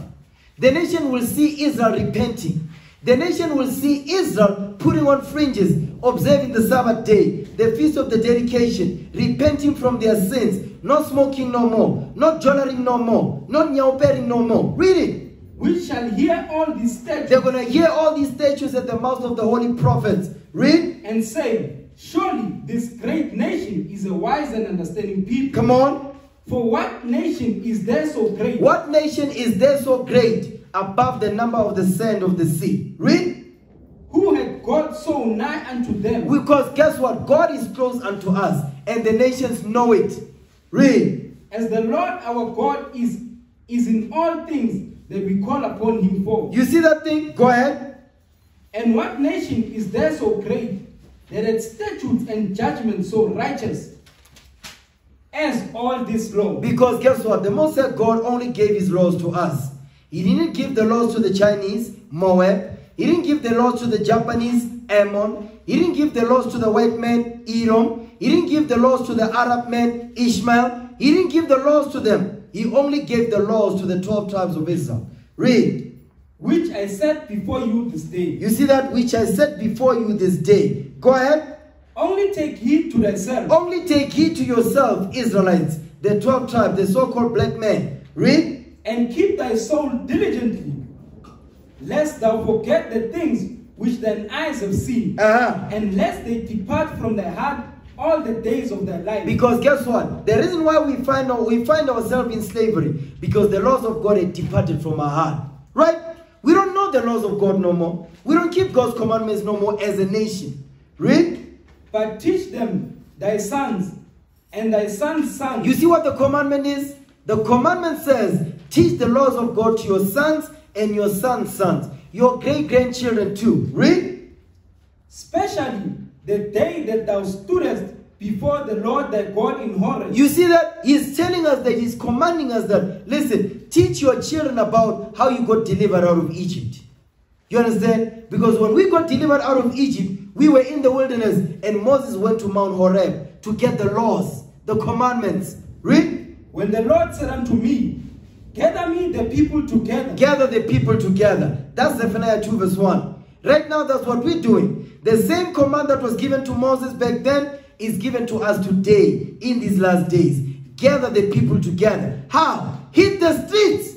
Go to the streets and wake up Israel and gather the people into this great house. Read. And I will make them hear my words, And I will make them to hear the word of God. Come on. that they may learn to fear me all the days that they shall live upon the earth. You see that thing? Because now as a nation, we have not learned to fear the Lord, but we've learned to fear the nations and their idols. Read. And that they may teach their children, That they may what? that they may teach their children, That they may teach their children these laws. That's why you see children here. Why? Because it's the laws of God to do so. Go ahead. and he came near and stood under the mountain. Read. And the mountain burned with fire unto the midst of heaven, Read. with darkness, clouds, and thick darkness. That's when the Lord showed up. Come on. And the Lord spake unto you out of the midst of the fire. Read. Ye heard the voice of the words, but saw no, but saw no similitude. Only ye heard the voice. Because Israel tends to do what? Whenever they see something, they want to worship it. They want to create an idol out of it. He says, You only heard a voice, and that's it. You understand? So let's go back. Go back to where was it now? Okay. Isaiah 126. The book of Isaiah, chapter 1, verse 26. Come on. And I will restore thy judges as at the first. You see what he's saying? He says, I'm going to restore thy judges as at the first. Read. and thy counselors as at the beginning. And your counselor as at the beginning. Come on. Afterward, thou shalt be called the city of righteousness, Read. the faithful city. the faithful city. Because when we return back to this book and do what it says, then the nations will say, Surely this is a great, a wise, and understanding people. The nations don't say that right now. The nations don't say we are a wise and understanding people. They don't say we are what? We are a faithful city. We are the righteous. They don't say none of that. Instead, they speak evil of us, but not no more. The Lord is waking us up. Get Deuteronomy chapter 1. Deuteronomy 16 verse 18. I'm sorry. Deuteronomy chapter 16 verse 18. Watch this. The book of Deuteronomy, chapter 16, verse 18. Read. Judges and officers shall thou make thee in all thy gates. You see what he's saying? Judges and officers shall thou make thee in all thy gates. The judges and officers, this is the leading body of the 12 tribes of Israel to teach the people the law, to return them back to this truth. Come on. which the Lord thy God giveth thee Because the Lord is the one that he will set up these men. Go ahead. throughout thy tribes. throughout thy tribes. Throughout their tribes, because we are the 12 tribes of the nation of Israel. Understand that thing. Now, watch this. Remember, we are God's army, brothers. We are God's army. Give me that in uh, 2 Timothy 2. 2 Timothy chapter 2, verse 3. We are God's army. We must understand that thing. And we are in a war. This war that we're in is not a physical war, it's a spiritual war. I keep repeating that why? Because it means it needs to be spoken over and over so we understand the war we're in. Okay? Read what you got. 2 Timothy 2. The second book of Timothy, chapter 2, verse 3. Read. Thou therefore endure hardness as a good soldier of Jesus Christ. We must endure hardness, brothers. It's gonna be hard because anything that is worth worth- that is worth it is gonna be hard. It's not gonna be easy. This is not gonna be a walk in the park.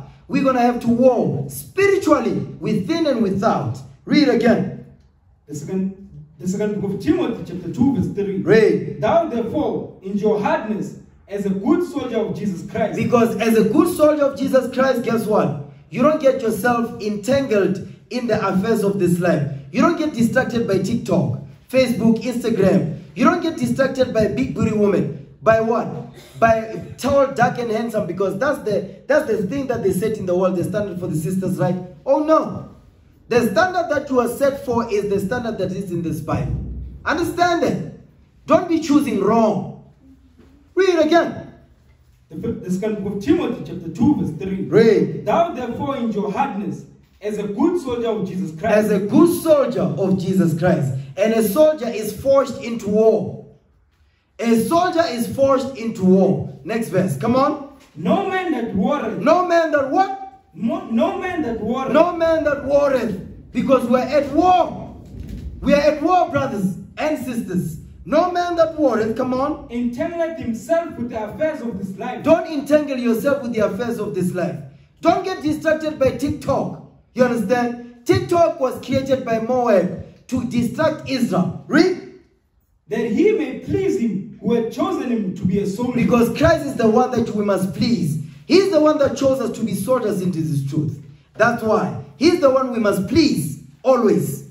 You understand? Get that in Exodus 6, verse 26. We are God's army. You understand? And as God's army, we cannot be entangled with the affairs of this life. Okay? Watch this. Exodus 6, verse 26. Read that what you got.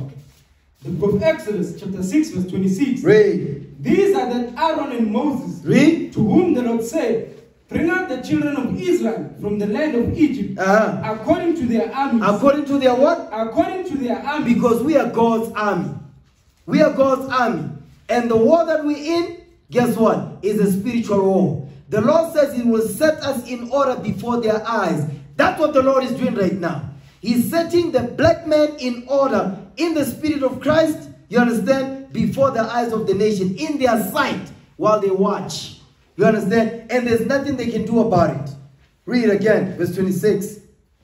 Exodus chapter 6, verse 26. Read. These are the Aaron and Moses, to whom the Lord said, Read. Bring out the children of Israel from the land of Egypt, according to their armies. according to their armies, according to their tribes. Give me Numbers chapter 1, verse 20. Numbers chapter 1, verse 20. I'm going to show you why the Lord says we are an army. Watch this. Because an army is made up of soldiers, but those soldiers must be good soldiers. A good soldier is about war. A good soldier is about his people. A good soldier is about deliverance and protection for his nation. That's what a good soldier is about. Okay? Numbers 1 verse 20. the book of Numbers, chapter 1, verse 20. Watch this. And the children of Reuben, Israel's eldest son, You know what? Before you get there, read Numbers 1 verse 2 and 3. Watch this. You know what? Start at verse 1. Start at verse 1. the book of Numbers, chapter 1, verse 1. Read. And the Lord spake unto Moses in the wilderness of Sinai, Read. in the tabernacle of the congregation, on the first day of the second month, in the second year after they were come out of the land of Egypt, saying, Read. Take ye the sum of all the congregation of the children of Israel, after their families, After their families. Read. by the house of their fathers, By the house of their fathers. So this is directed to the men here. Read. with the number of their names, Read. every man by their polls, Come on. from 20 years old and upward, From 20 years old and upward. Come on. all that are able to go forth to war, All that are able to go forth to what? all that are able to go forth to war, To war. To war. To war. To war. In what? In Israel. in your nation. You only fight for your nation. You don't fight for the other nations. You fight for your. The only military that you join, black men, is God's military. Understand that? Read. Thou and Aaron shall number them by their armies, You and Aaron shall number them by their what? by their armies, By their ashes. by their armies, By their armies. By their armies. You understand? Verse 20 now. Watch this. Now we're gonna see the number of the children of Israel by their armies that were able to go forth to war in Israel. Read. the book of Numbers, chapter 1, verse 20. Come on. And the children of Reuben, Israel's eldest son, Reuben. Come on. by their generations, after their families, by the house of their fathers, Read. according to the number of the names by their calls, every male from 20 years old and upward, all that were able to go forth to war. All that were able to go forth to war. This is the tribe of Reuben now. You understand? An army. An army of the tribe of Reuben. Jump down to verse 22. Verse 22. Read. Of the children of Simeon, Mm. by their generations, after their families, by the house of their fathers, those that were numbered of them, according to the number of the names, by their polls, every male from 20 years old and upward, all that were able to go forth to war. all that were able to go forth to war. You notice here, what the Most High God is doing, He is forging us into an army at the hand of Moses and Aaron. That's what He's doing. You men need to understand the war that you're in. You need to understand why you're called into this truth. To go forth to war in Israel for the deliverance of your people from captivity. You need to understand that. Verse 24. Come on. Of the children of Gad, Of the children of Gad. Read a troop.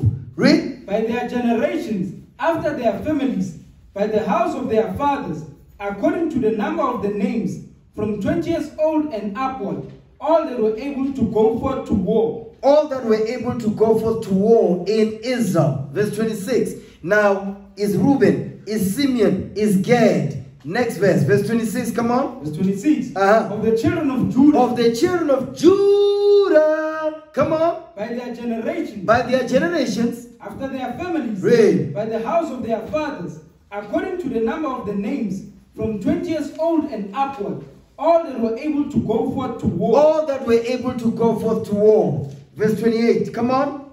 Of the verse 28. Of the children of Issachar, Of the children of Issachar, the so called Mexicans of today, come on. by their generations, Right. after their families, by the house of their fathers, according to the number of the names, from 20 years old and upward, all that were able to go forth to war. all that were able to go forth to war in Israel, to war in Israel. Verse 30, come on. Verse 30. Read. Of the children of Zebulun, Mm. by their generations, after their families, by the house of their fathers, according to the number of the names, from 20 years old and upward, all that were able to go forth to war. All that were able to go forth to war. You notice the Most God is about war. So when he's using Moses and Aaron to forge us into an army, it was for preparation for war. You understand? Because the 12 tribes of Israel, we are God's army. You understand? That's why the nations are afraid of us, brothers. The nations are afraid of us because we are God's army. You understand? That's why we must learn this Bible in and out to understand how to war. The Lord left these nations among us to learn how to war, to put us into a corner so that what? We, we what? We break. But the, how do we break? We return back to this book. That's how we prepare for that war, brothers. And it's a spiritual war. Back then it was a physical war because we had to go in and conquer the land of Canaan. Today is a spiritual war to deliver our people out of captivity. Spiritual captivity because our people are in bondage right now. Christ is going to deliver us physically. Right now, the leaders that the Lord is raising up, judges and officers, is to deliver us spiritually. Understand that. Read verse 32. Verse 32. Read. Of the children of Joseph, namely of the children of Ephraim, by their generations, after their families, by the house of their fathers, according to the number of the names, from 20 years old and upward, all that were able to go forth to war. Verse 34. Verse 34 Of the children of Manasseh, by their generations, after their families, by the house of their fathers, according to the number of the names, Read. from 20 years old and upward, all that were able to go forth to war. Verse 36. Watch this. Come on. Verse 36 Of the children of Benjamin, by their generations, after their families, by the house of their fathers, according to the number of the names, from 20 years old and upward, all that were able to go forth to war. Verse 38. Watch this. Come on. Verse 38 Of the children of Dan, by their generation. Because Dan was swallowed among Benjamin. Go ahead. after their families, by the house of their fathers, according to the number of the names, from 20 years old and upward, all that were able to go forth to war. Verse 40. Come on. Verse 40 Of the children of Asher, by their generations, after their families, by the house of their fathers, according to the number of the names, from 20 years old and upward, all that were able to go forth to war. Verse 42. Verse 42 Of the children of Naphtali, throughout their generations, after their families, by the house of their fathers, according to the number of the names, from 20 years old and upward, all that were able to go forth to war. Verse 44. Verse 44 These are those that were numbered, which Moses and Aaron numbered. You see that? The Moses and Aaron numbered the 12 tribes of Israel to force them into an army. Go ahead. And the princes of Israel, The princes of Israel, that's the captains. Come on. being 12 men, Read. each one was for the house of his father. Read. So were all the, were all those that were numbered of the children of Israel by the house of their fathers from 20 years old and upward, all that were able to go forth for to war in Israel. All that were able to go forth to war, to war in Israel. The reason why Moses was commanded and Aaron by the Most High to forge the 12 tribes of Israel into an army is so that we can go to war. Why? Because our nation, we are under attack as a nation. We need to understand that. We are under attack. The attack is within and without. Read again. Verse 40, verse 45. Come on. The book of Numbers, chapter 1, verse 45. Read. So were all those that were numbered of the children of Israel by the house of their fathers, Read. from 20 years old and upward, all that were able to go forth to war in Israel. Now watch this. Give me Revelation chapter 7, verse 4. Because we need to understand the Lord is forging us into an army. As He's forging us into an army, our job is to do what? Is to learn how to war. We must learn how to war. You understand? War before the war. What war is that? The spiritual war before the physical war, which is World War III. Revelation 7, verse 4. Watch this. The book of Revelation, chapter 7, verse 4. Come on. And I heard the number of them which were sealed. Read. And there were sealed an hundred and forty and four thousand of all the tribes of the children of Israel. The 144,000 men, these 144,000 chosen men that were able to go forth to war in Israel, this is the leading body of the 12 tribes of Israel. The leaders, you understand? The elect. Those that the Lord has set and ordained from the beginning to deliver the 12 tribes of Israel from captivity. Read again, verse 4. The book of Revelation, chapter 7, verse 4. Come on. And I heard the number of them which were sealed. Read. And there were sealed an hundred and forty and four thousand of all the tribes of the children of Israel. Come on. Of the tribe of Judah were sealed twelve thousand. Of the tribe of Judah were sealed 12,000. All those that were able to go forth to war in Israel. Come on. Of the tribe of Reuben were sealed twelve thousand. All that were able to go forth to war in Israel. Come on. Of the tribe of Gad were sealed twelve thousand. Read. Of the tribe of Asher were sealed twelve thousand. Of the tribe of Naphtali were sealed twelve thousand. Of the tribe of Manasseh were sealed twelve thousand. Read. Of the tribe of Simeon were sealed twelve thousand. Come on. Of the tribe of Levi were sealed twelve thousand. Of the tribe of Issachar were sealed twelve thousand. Read. Of the tribe of Zebulun were sealed twelve thousand. Of the tribe of Joseph. Of the tribe of what? of the tribe of Joseph. Of the tribe of Joseph. Of the tribe of Joseph. Hold that. Give me that in Judges. Okay? Give me Judge, Joshua, not Judges. Joshua chapter 14, verse 4. Of the tribe of Joseph were sealed 12,000. Okay? Give me Joshua 14, verse 4. Let's deal with the tribe of Joseph. What is that talking about? Read what you got. The book of Joshua, chapter 14, verse 4. Read. For the children of Joseph were two tribes, Where the children of Joseph were two tribes. Come on. Manasseh and Ephraim. Manasseh and Ephraim. Come on. Therefore, they gave no part unto the Levites in the land, save cities to dwell in, Read. with their suburbs, for their cattle and for their substance. Let's go back. Revelation 7, verse 8 again. The book of Revelation, chapter 7, verse 8. Read. Of the tribe of Zebulun were sealed 12,000. Come on. Of the tribe of Joseph were sealed 12,000. Of the tribe of Joseph is Ephraim and Manasseh. They were sealed, sealed 12,000. 12,000 of Manasseh, 12,000 of Ephraim. Come on. Of the tribe of Benjamin were sealed 12,000. Read. After this, That's it on that. That's it on that. This right here is the leading body of the 12 tribes of Israel. These are the leaders right here. Brothers, guess what? Your works will declare if you're part of the 144. You all want to be part of the 144. That's why we all here. We want to be part of the elite of the 144,000. 12,000 from each tribe. Guess what? It's not going to happen when we sit on our lap and do nothing. We must go out there and war. But before we go out there to war with, with to war for the deliverance of our people, we must we must conquer the war within. The spiritual war within. You must overcome your personal trials and tribulation, your sins, the things you're struggling with, brothers. You understand? You must overcome that.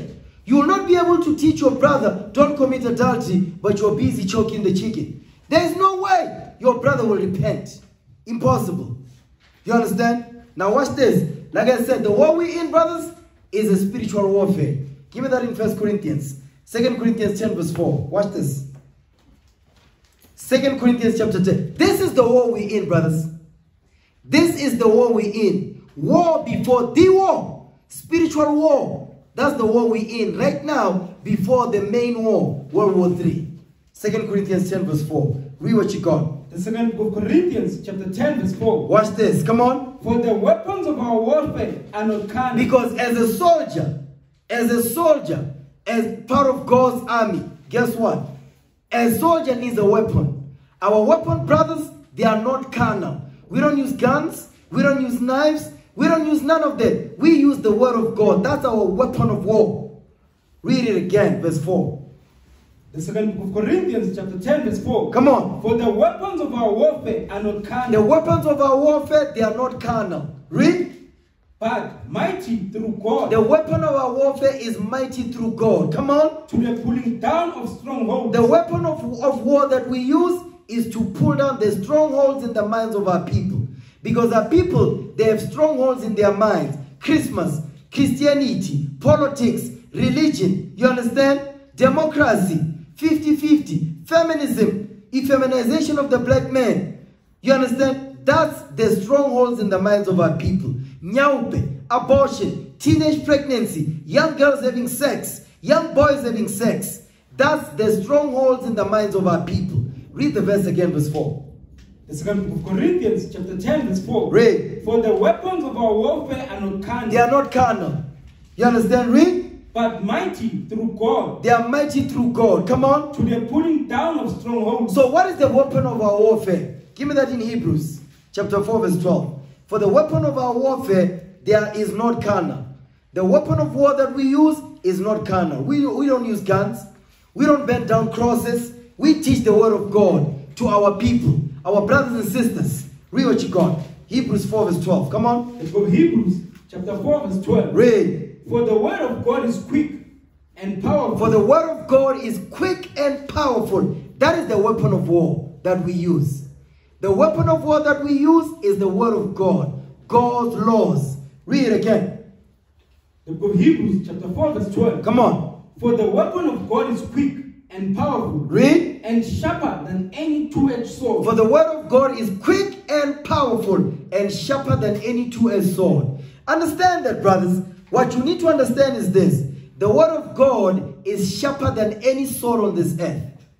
The word of God is sharper than any instrument on this planet earth. The word of God is more powerful than a nuclear weapon. The word of God is powerful than a nuclear weapon, than a nuclear warhead. It doesn't matter how many, how many weapons of war that Israel can, can create. They are not more powerful than this book. You understand? Read. piercing even to the dividing asunder of soul and spirit. That's how powerful the word of God is. It pierces through even the dividing asunder of your soul and your spirit. Read. and of the joints and marrow, and is a discerner of the thoughts and intents of the heart. That's how powerful the word of God is. The word of God is able to discern your intent of your heart. The intention that you have in your heart. The word of God can discern that. You understand? The word of God can discern. Listen, the word of God is so is so quick, is so powerful, is so sharp, it's able to separate soul from your body.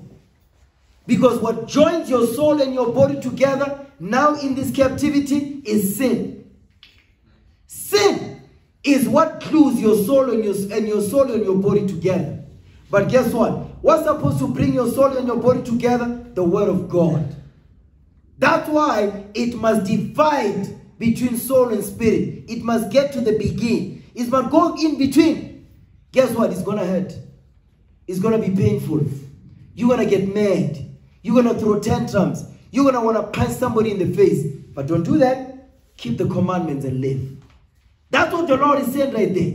You're gonna get offended when you get corrected. Guess what? It's a discerner of the thoughts and intents of the heart. You understand? That's how powerful it is. The word of God is clinical. The word of God is clinical. It will get in between. You understand? Understand that thing. That's the weapon that the Lord put in our hands.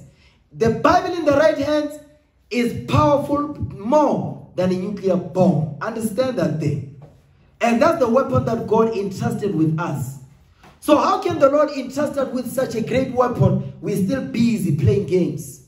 We're busy, still in the midst of sin. We're busy. We cannot come out of the sins we in. We're busy still breaking God's commandments. How can the, the, this great weapon be in our hand? You're gonna shoot yourself in the face. You're gonna shoot somebody in the face with that. You have to sit down and learn this book and learn how to fight for your nation. Understand that. Go back to Second Corinthians 10, verse 4. Watch this. The second Corinthians, chapter 10, verse 4. Read. For the weapons of our warfare are not carnal. They are not carnal. They are not physical.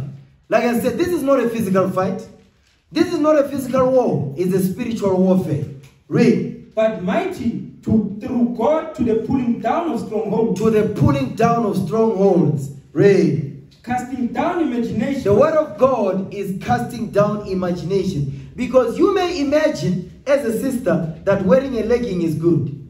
You may imagine as a brother that blonding your hair is good. You may imagine as a brother that sleeping around is good. You may imagine as a sister that not getting married but sleeping around is good. No, no, no, no, no. The word of God is going to pull down the stronghold. You understand? Read that again, verse 5.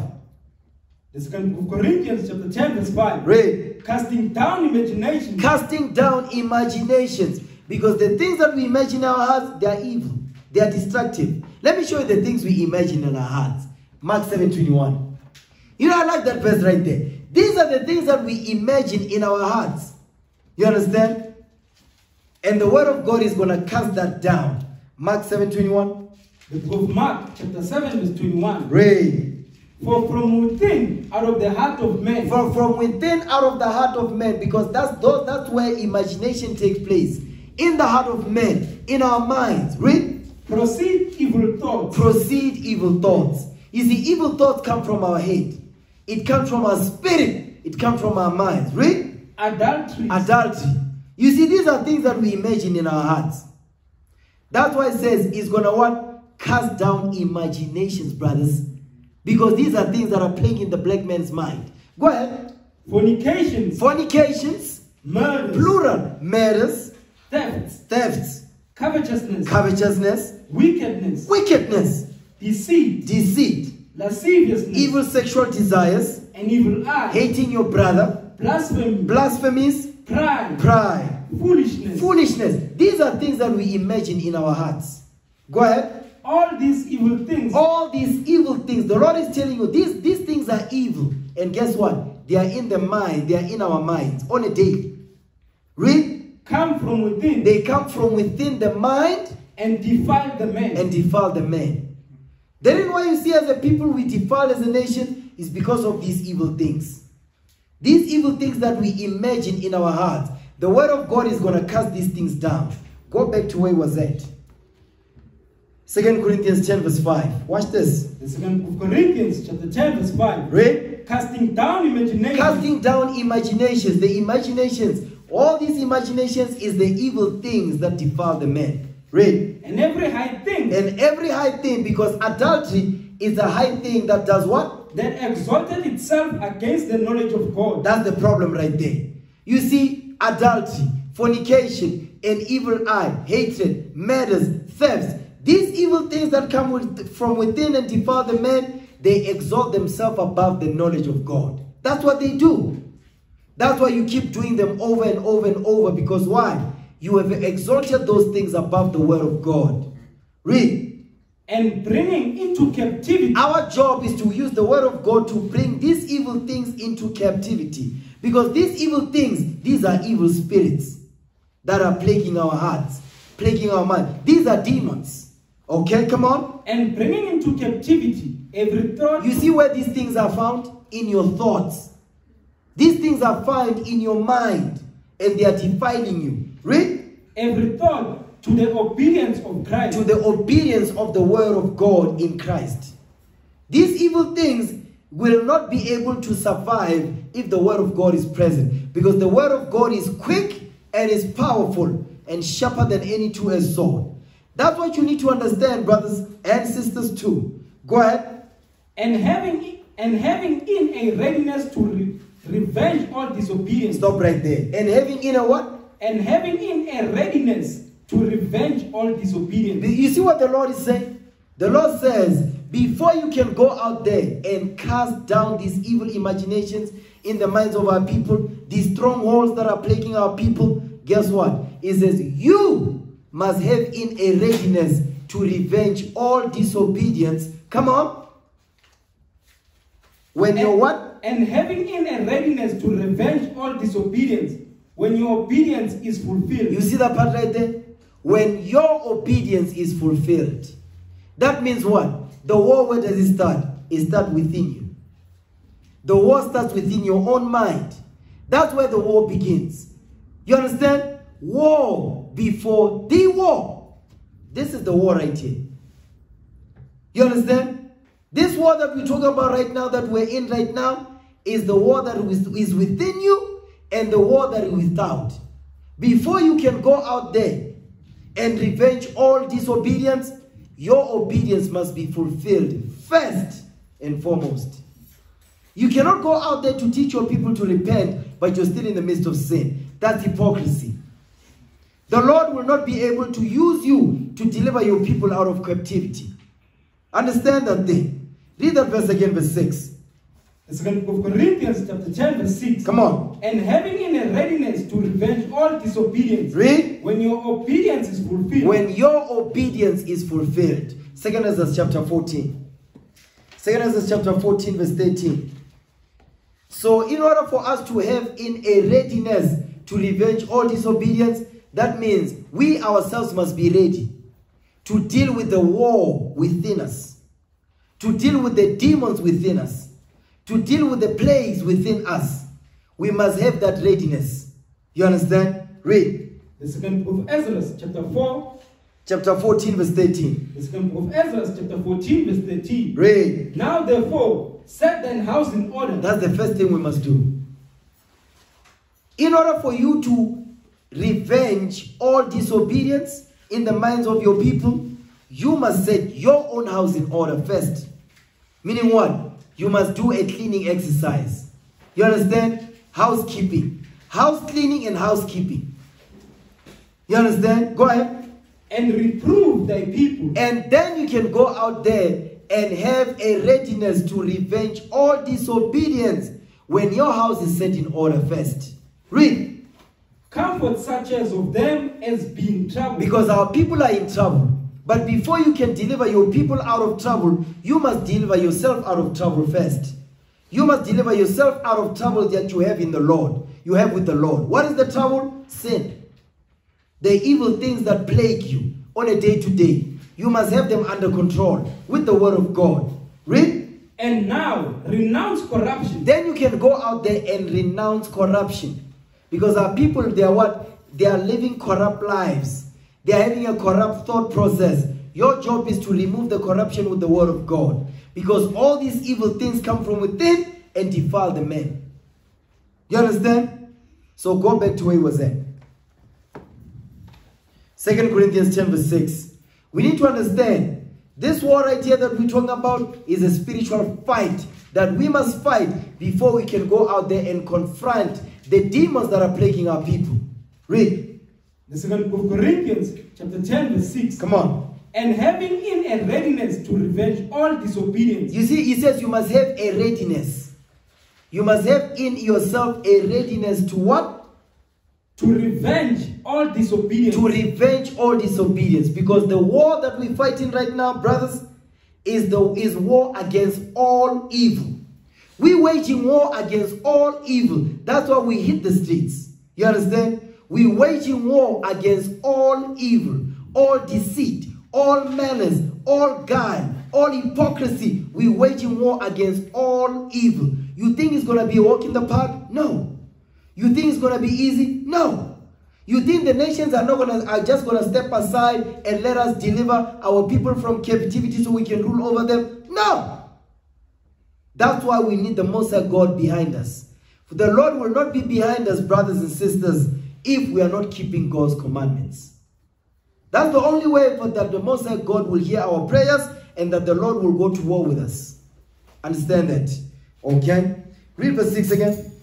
The second book of Corinthians, chapter 10, verse 6. Read. And having in a readiness to revenge all disobedience when your obedience is fulfilled. when your obedience is fulfilled. So that readiness right there, let's deal with the readiness to do that. But the readiness to do that, guess what? The first thing is to do what? Is to make sure that your obedience is fulfilled.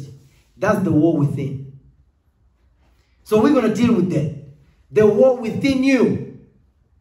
Because it's easy to want to say, I'm ready to go to fight the war out there. But the war within you, you have not won it yet. You have not even begun to deal with the war within you. The way to win the war within you, to deal with it decisively, guess what? Second Corinthians chapter 13, verse 5. Watch this. The second book of Corinthians, chapter 13, verse 5. Read. Examine yourself. Examine yourself. That's what the Lord is. That's the first point to deal with the war within you. Examine yourself. Don't examine the brother next to you. Mm-mm. Examine yourself. Read again, verse 5.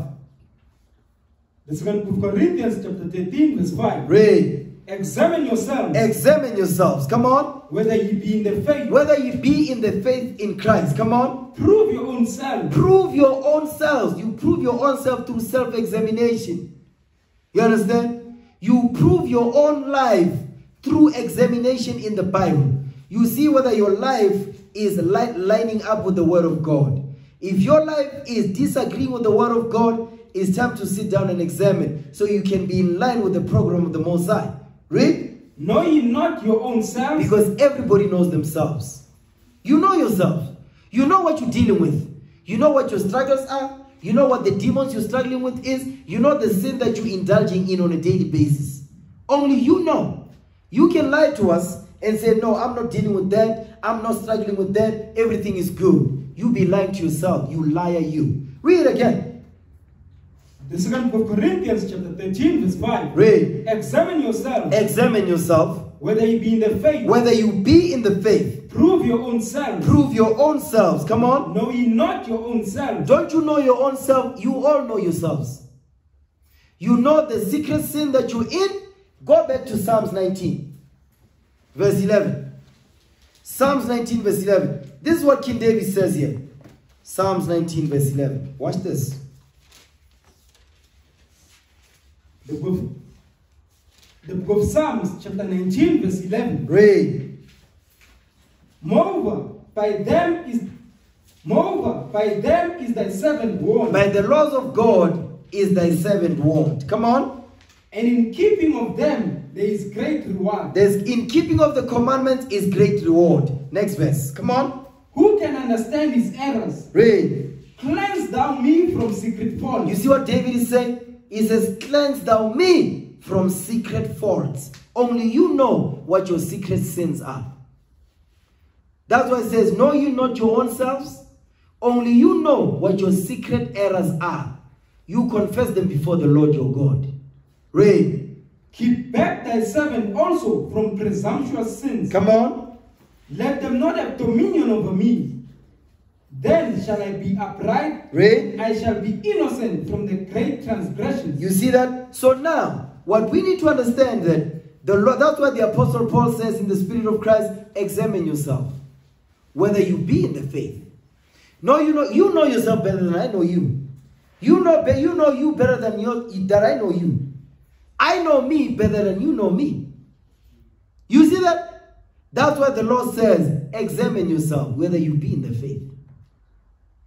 Prove your own self. Know you not your own self? You know yourself. You live with you every day. We don't. You understand? The secret sins that you're in, only you know them. You're the only one, you're the only one that can confess them before the Lord your God. You're the only one that can speak to the Lord and say, Father, help me to overcome this thing. You're the only one that can do that.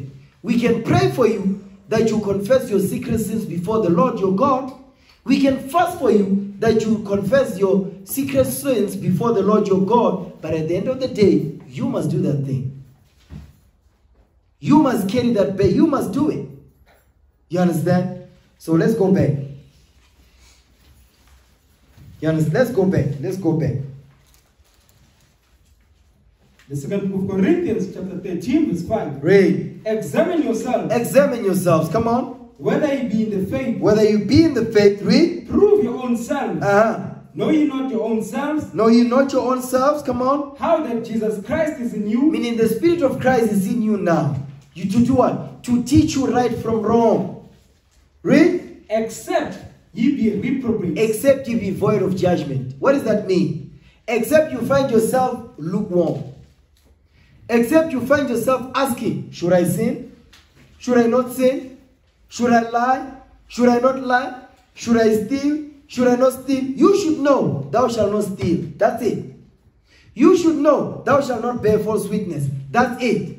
You not confused sitting there in the middle, questioning yourself whether you should break the laws of God or not. Except you be reprobate. You see that? Make sense? Yes, Except you be reprobate. Only you know, the Lord is saying. Watch this.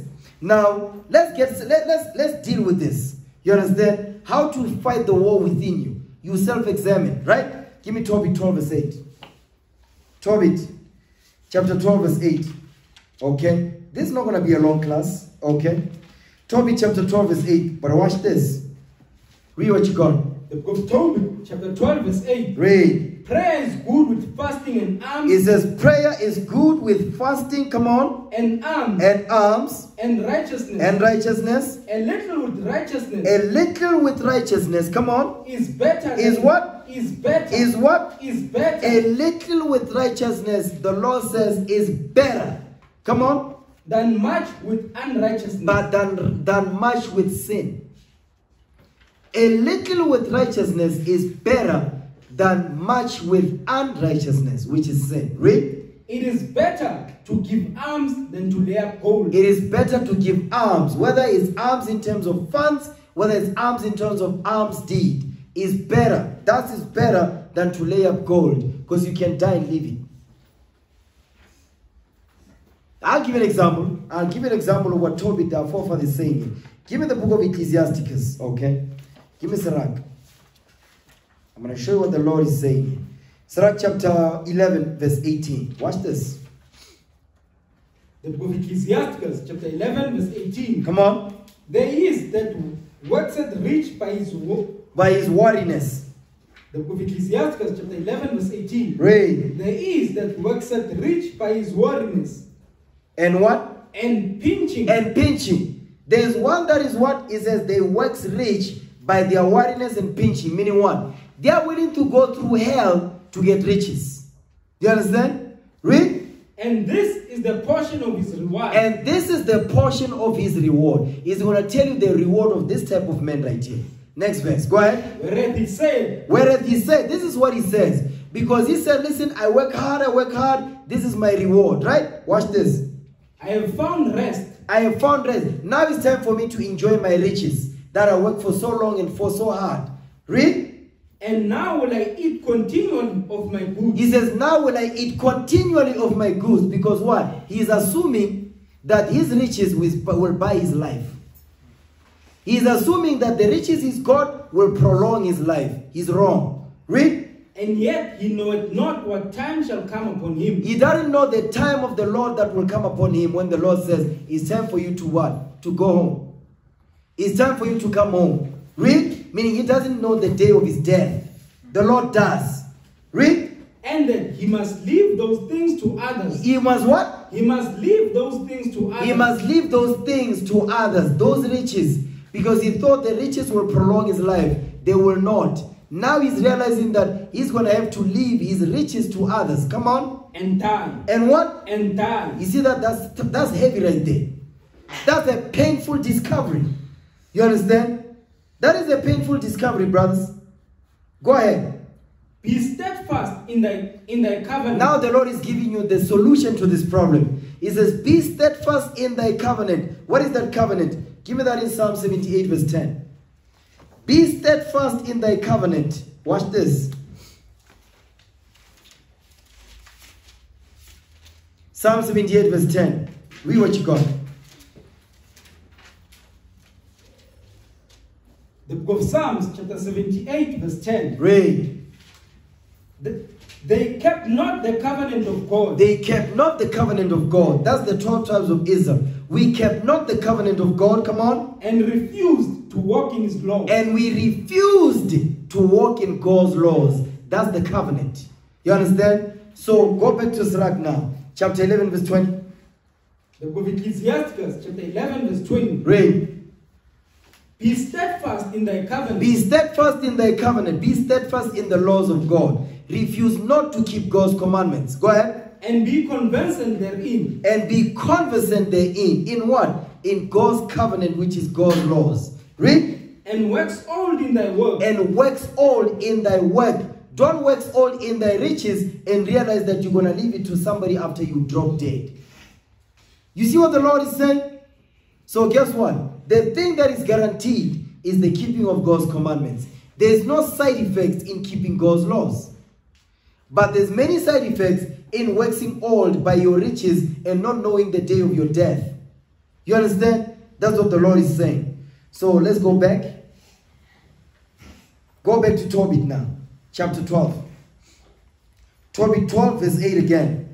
the book of Tobit, chapter 12, verse 8. Read, Prayer is good with fasting and alms and righteousness. read. A little with righteousness is better than much with unrighteousness. Go ahead. It is better to give alms than to lay up gold. It is better to give alms than to lay up gold. Why? Because when you lay up gold, you wax rich through what? Through wariness and pinching. The day you die, you're going to leave it to somebody else to consume. Go ahead. For alms don't deliver from death. Because your alms deed will deliver you from death. Let's get some examples. Watch this.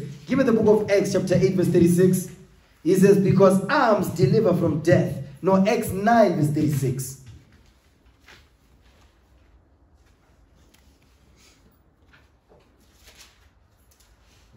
The book of Acts, chapter 9, verse 36. Come on. Now there was at Joppa a certain disciple named Tabitha, Tabitha. So Tabitha was a certain disciple, a sister in the truth. Come on. Which by interpretation is called Dorcas. By interpretation means Dorcas. Come on. This woman was full of good works This woman was full of good works. Come on. And- Sisters, pay attention here. Come on. and alms deeds And alms deed. Come on. which she did. which she did. What are the good works and the alms deed she did? Sisters, guess what? You need to have examples in this truth. You need to find out your righteous foremothers that did good works and follow after their footsteps. Khanyi Mbau, who is not going to be an example to you. Pearl Thusi will not be an example to you. Who's always twerking with big bums and she's got a child next to her. That's not a role model. That's a demon. Read again, verse 36. the book of Acts, chapter 9, verse 36. Read. Now there was at Joppa a certain disciple named Tabitha, Read. which by interpretation is called Dorcas. Read. This woman was full of good works This woman was full of good works. So Ukanyimbawo, those are not good women to follow. You understand? Upeltusi, those are not good role models for you sisters to follow. But our foremother Tabitha in the Holy Scriptures, those are good examples to follow and to pattern yourself after. Come on. This woman was full of good works She was full of good works. Read. and alms deeds which she did. Watch this. Come on. And it came to pass in those days that she was sick Now our foremother Tabitha, she fell sick, but she did the work. Read. and died. and she died. Now she died doing the work of the Lord. Now, watch this. Come on. Whom when they heard, whom they, when they heard, whom when they heard, washed their Oh, washed wha- oh, hold on. Read the verse again. Read it right. Verse 37 again. Read it slow. Come on. the book of Acts chapter 9 verse 37. Read. And it came to pass in those days that she was sick and died. She was sick and she died, our foremother. Come on. Whom when they had washed, they laid her in an upper chamber. They washed her and they laid her in the upper chamber, in the second floor where they was. Read. And for as much as Lydda was nigh to Joppa, So Lydda is next to Joppa. Come on. and the disciples had heard that Peter was there. So the disciples heard that the apostle Peter was in Lydda, which is next to Joppa. Come on. They sent unto him two men, Uh-huh. desiring him that he would not delay to come to them. that he must come with a quickness to them. Read, Then Peter arose and went with them. read. When he, when he was come, they brought him into the upper chamber. They brought him into the upper chamber where our foremother Tabitha was. Read. And all the widows stood by him weeping, and showing the coats and garments which Dorcas, which Dorcas made. So they were showing the garments and the coats that our foremother Tabitha had made because she was a sewist. Hmm? She did work in Israel. Understand that? She knew how to work the needle. Read. which Dorcas made while she was with them. Which our foremother Tabitha made was when she was with them. Come on. But Peter put them all forth and kneeled down and prayed. So the apostle Peter, she he kneeled and prayed. Come on. And turning him to the to the body, said, Tabitha, arise. You see what they you see what the apostle Peter prayed for our foremother Tabitha. The apostle Peter prayed for our foremother Tabitha because of the good work she did and because of the alms deed she did in Israel. Go ahead. And she opened her eyes. She whoa whoa whoa. It says, what did the apostle Peter say? But Peter put them forth and kneeled down and prayed. Read. And turning him to the body, said, Uh-huh. Tabitha, arise. Tabitha, arise, because she was what? She was dead. Come on. and she opened her eyes. And when she saw Peter, she said, up. You see that? She the, after the apostle Peter brought our foremother back to life. She was delivered from death. That's what we read in Tobit. Because alms that deliver from death. You understand? Read. And he gave her his hand and lifted her up. Uh. And when he had called, and when he had called the saints and widows, presented her alive. She, he presented our foremother Tabitha alive. Meaning our foremother Tabitha, she died, and the apostle Peter brought her back to life. Go ahead. And it was known throughout all Joppa, And it was known throughout all Joppa. Come on. and many believed in the Lord. And many believed in the Lord. Come on. And it came to pass that he traveled, that he tarried many days in Joppa with one Simon a tanner. Simon Eterna. Now, what you want to notice here is alms, they do deliver from death. You understand? Why? Because the Most High God used our foremother Tabitha to show, listen, because you can't just sit there and say, "Hmm, so me, I don't have anything to do, I just saw the garments, I saw the fringes. Shame on you. That's a great work. You must take pride in that thing. You understand? Because those alms, they do deliver from death. That same go for you brothers too. Brothers editing videos and all that, you must take your job seriously. Brothers putting on, you dealing with the social media stuff, take that job seriously because you are praising the Most High God. Because what you're doing, those are alms deed which will deliver you from death. That's what you need to understand. Go back to Tobit 12. Tobit 12 verse 9. The book of Tobit, chapter 12, verse 9. Come on. For alms doth deliver from death, Because alms, they do deliver from death. Come on. and shall purge away all sin. They will purge away all sins. Read. Those that exercise alms and righteousness Those that exercise alms, meaning alms, deed, works in the body, and righteousness, keeping of the commandments, shall be filled with life. they're going to be filled with love, eternal life.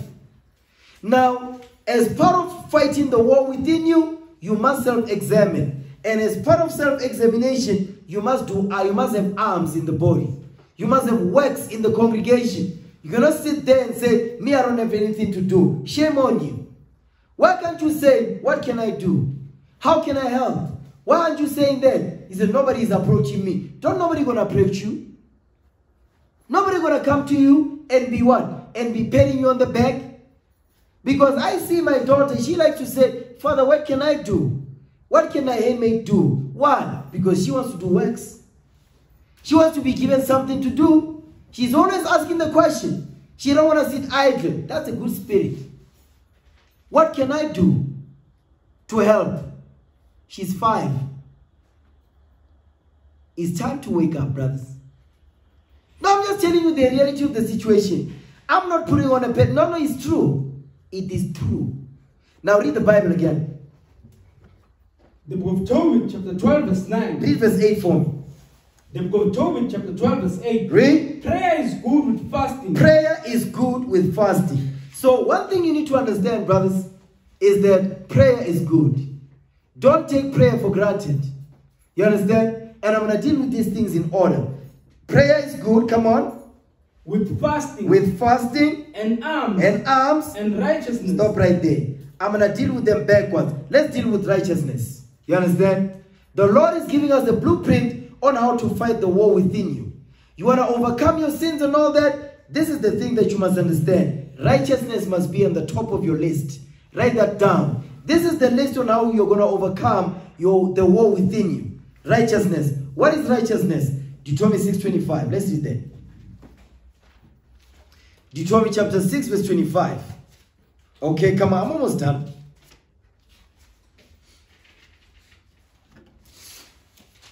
book of Deuteronomy, chapter 6, verse 25. Read. And it shall be our righteousness It shall be our righteousness. Come on. if we observe to do all these commandments If we observe to do all these commandments, come on. before the Lord our God, as he had commanded us. So righteousness is the keeping of God's commandments.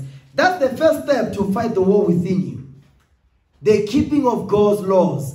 Righteousness.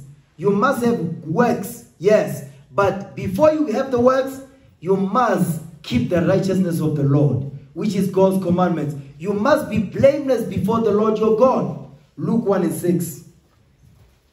Luke 1, verse 6. Okay, come on.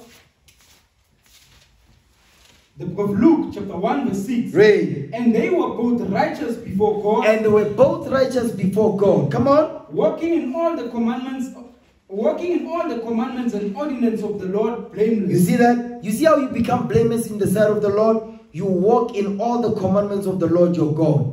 That's the first step to fight the war within you. To deal with those evil things, those evil thoughts that proceed out of our evil thoughts that defile us. Yes. To get rid of them, guess what? We must be blameless before the Most High God by keeping His commandments. That's what we all need to understand. Righteousness must be the top of your list. You understand? Watch this. Give me that in 2nd Ezra chapter 9. 2nd Ezra 9. 2nd Ezra chapter 9. Read verse 37. Watch this. The second book of Ezra, chapter 9, verse 37. Read. Notwithstanding, the law perisheth not. The law does not perish. The law perisheth not. The law perisheth not, meaning it endures forever. Read. but remaineth in its force. But remaineth in his force. The laws of God are in full effect. You understand? We need to understand that. God's laws are in full effect. That's how we're going to fight the war within you. Because it remaineth in his force. Understand that thing. Now, go back to Tobit. Okay, 12. Tobit chapter 12. Read verse 8 again. The book of Tobit, chapter 12, verse 8. Read. Prayer is good with fasting Uh, and alms Read. and righteousness. and righteousness. So righteousness, I'm starting with righteousness because why? That's number one.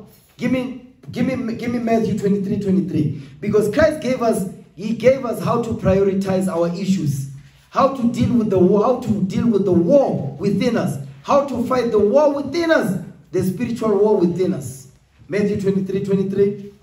The book of Matthew, chapter 23, verse 23. Read, Woe unto you, scribes and Pharisees, read. hypocrites! Come on. For ye pay tithes of mint and anise and cumin, Uh-huh. and have omitted the weightier matters of the law. Stop right there. He says, You have omitted the weightier matters of the law. The weightier matters of the law is going to tell you what they are. Keep reading. Judgment, Judgment. You cannot make judgment without law. You can only make the judgments, the right judgments of God by keeping God's commandments. Read. mercy, Mercy. Come on. and faith, And what? and faith, And what? and faith. Read. These ought ye to have done, This ought ye to have done. Come on. and not to leave the other undone. So Christ is telling you, guess what? Judgment, mercy, and what? And the law. You must do these things. Righteousness. This is very important. It's top of the list. You understand? Now, righteousness. Okay? I'm dealing with that. Righteousness. Let's deal with the next thing. Okay? This is how you fight the war within you. Let's deal with prayer. You must pray. Righteousness. You must have righteous works. You understand? Let's deal with prayer now. Prayer. You understand? Give me the book of Matthew chapter. Give me Luke 18. Luke chapter 18 and 1. The book of Luke, chapter 18, verse 1. Read. And he spake a parable unto them to this end, Read. that men ought to always that men ought always to pray and not to faint. That men ought always to what? Ought always to pray and not faint. He says, men ought always to pray and not faint. See, prayer is very important, brothers and sisters. If to, for you to fight the war within you, you must pray always and not faint. Because you have to be honest with yourself. Are you, are you fainting in your prayer life? Is your prayer life fainting? You understand? Is your prayer life coming to naught? You must revive your prayer life. You understand? Read the verse again, verse 1. And he spake a parable unto them to this end, Read. that men ought, ought always to pray and not to faint. That men ought always to pray and not faint. That men ought always to pray and not faint. Don't faint when it comes to prayer life. Don't faint when it comes to your prayer life, brothers and sisters. Understand that. You understand? Give me that in Daniel. Okay? Daniel 6, verse 10. Daniel chapter 6, verse 10. We must look at the examples our forefathers left behind for us. Read it. The book of Daniel, chapter 6, verse 10. Read. Now, when Daniel knew that the writing was signed, Come on. he went into his house, He went into his house. and his windows being open in his chamber toward Jerusalem, Come on. he kneeled upon his knees three times a day. He kneeled upon his knees three times a day. Three times a day. That means Daniel has an, had an excellent prayer life. Daniel, or, or, Daniel always prayed. He never fainted. Because Daniel had an excellent prayer life. So this is the example of our forefather Daniel we can follow. Read. and prayed and gave thanks before his God as he did aforetime. Because it was a custom of his that he did. He kneeled three times a day, he faced towards Jerusalem and prayed. You understand? As always, as aforetime. Guess what? You need to have a consistent prayer life. That, that's how you fight the war within you. Don't take advantage of prayer. Don't take it for don't take prayer for granted, brothers and sisters. Understand that. Give me that in Psalms chapter 55, verse 16. Psalms 55 verse 16. Watch this. The book of Psalms, chapter 55, verse 16. Read. As for me, I will call upon God, and the Lord shall save me. You see that? As for me, I will call upon God and the Lord shall save me. Come on. Evening and morning and at noon. He says, evening, that's when the sun is down. Right? And morning, sunrise. And at noon, midday. Come on. Will I pray? Will I what? Will I pray? Come on. And cry aloud. And cry aloud. Meaning, don't, don't be praying. He says, no, I'm praying on the inside. That's not in the Bible. He says, what? Will I pray and cry aloud that the Lord will hear you? Read. and he shall hear my voice. and the Lord will hear your voice. Understand it? Don't be saying things like, no, I'm praying on the inside. That's evil as hell. That's not in the Bible. You understand? Get that in Second Thessalonians, okay? Second Thessalonians, when it says, pray without ceasing, okay? Second Thessalonians, no, First Thessalonians 5.21. the first book of No, no, verse 17, verse 17. The first book of Thessalonians, chapter 5, verse 17. Go ahead. Pray without ceasing. It says, pray without ceasing. Pray without ceasing. Pray without ceasing. Give me that in Luke 14 23. Because Christ also, he had an excellent prayer life. Matthew chapter 14, verse 23. The book of Matthew, chapter 14, verse 23. Go ahead. And when he had sent the multitudes away, When he sent the multitudes away, go ahead. he went up into a into a mountain apart to pray. He went, he, he did what? He says he went up and into a mountain apart. Apart by himself to do what? to pray. To what? to pray. To pray. Come on. and when the evening was come, Uh-huh. he was there alone. The same thing, he's following the same footsteps of his forefather David. He says, evening, morning, and at noon will I pray. Read again verse 4, verse 23. Come on. The book of Matthew, chapter 14, verse 23. Read. And when he had sent the multitudes away, Uh-huh. he went up into a mountain apart to pray. He went up into a mountain apart to pray. Come on. And when the evening was come, Read. he was there alone. He was there alone. What was he doing? He was praying. He was crying aloud and praying to the Most High God this day. Understand that. Give me that in Luke 22, verse 31. Never take prayer for granted, brothers and sisters. That's how you fight the war within you. Okay? That's how you talk to the Lord. Luke 22, verse 31. the book of Luke, chapter 22, verse 31. Read. And the Lord said, Simon, Simon, behold, Satan had desired to have you, Satan had desired to have you, come on, that he may sift you as wheat. that he may sift you as wheat. Because Satan wants to devour you. Read. But I have prayed for thee. But I did what? But I have prayed for thee. You see how important and powerful prayer was? Now, this is Christ speaking. He's telling the Apostle Peter, listen, Satan has, has a desire to, to what? To destroy you. But guess what? I have prayed for you. The most powerful man on planet Earth during that time, he said, he didn't say, I'm going to call a legions of angels to come and defend you. He said, but I'm, I have prayed for you, Peter. I pray for you. Come on that thy faith fail not. that your faith does not fail you when your trial comes. When Satan come for you, I pray that your faith does not fail you because why? The apostle Peter has to go through that trial. He has to go through it. That's how you fight the war within you. Come on. And when thou art converted, And when you have converted, when you have kept the commandments, read, strengthen thy brethren. strengthen your brethren with you. Strengthen the brothers that are around you. You understand? Meaning groom them, teach them. That's what he's saying. Why? Because he said, I have prayed for you that your, your faith fail you not in the day when Satan will pay you a visit. You understand? Now, let's deal with fasting. Because guess what? You must have righteousness. You must be blameless before the Lord. That's how you fight the war within. And you must have, then you must have what? An excellent prayer life. Not only that, you must fast. Fasting, afflicting your soul. Give me the book of Second Corinthians, chapter 11, verse 27. 2 Corinthians 11, verse 27. Watch this. Because the Apostle Paul, this is the Apostle Paul, okay? Talking to the church in Corinth. Watch what he says here. Second Corinthians, chapter 11, verse 27. You know what? Start at verse 22. Watch this. The second book of Corinthians, chapter 11, verse 22. Read. 22. Come on. Are they Hebrews? So am I. He says, Are those Israelites in Corinth, are they Hebrews? So am I. Read. Are they Israelites? Are they Israelites? Come on. so am I. So am I. Come on. Are they the seed of Abraham? So am I. So am I. Read. Are they ministers of Christ? Are they are they the ministers of Christ? Read.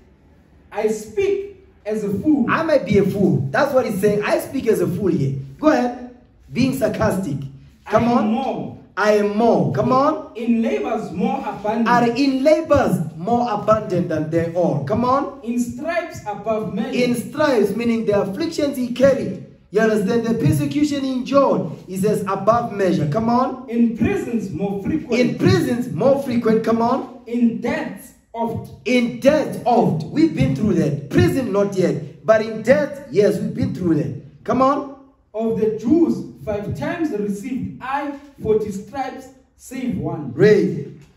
Thrice was I beaten with rods. That we have experienced. You understand? When they threw bottles at us, when they threw stones at us, we were bleeding for days. Go ahead. Once was I stoned. Thrice I suffered shipwreck. Come on. A night and a day I have been in the deep. Go ahead. Watch this. Read. In journeyings often. In journeyings often. Guess what, brothers? We travel. We teach the gospel. Come on. in perils of waters. In perils of waters. in perils of robbers. In perils of robbers. Come on. in perils of, uh, in perils by mine own countrymen. In perils by mine own countrymen, our own people that want to destroy us. Come on. in perils by the heathen. By the heathens. Read. In perils in the city. Uh, in perils in the wilderness. read. in perils in the sea, Read. in perils amongst false brethren, That's it. I've been through there. They all left. All praise to the Lord. The Lord sent new spirits in. Come on. in weariness and painfulness, Uh-huh.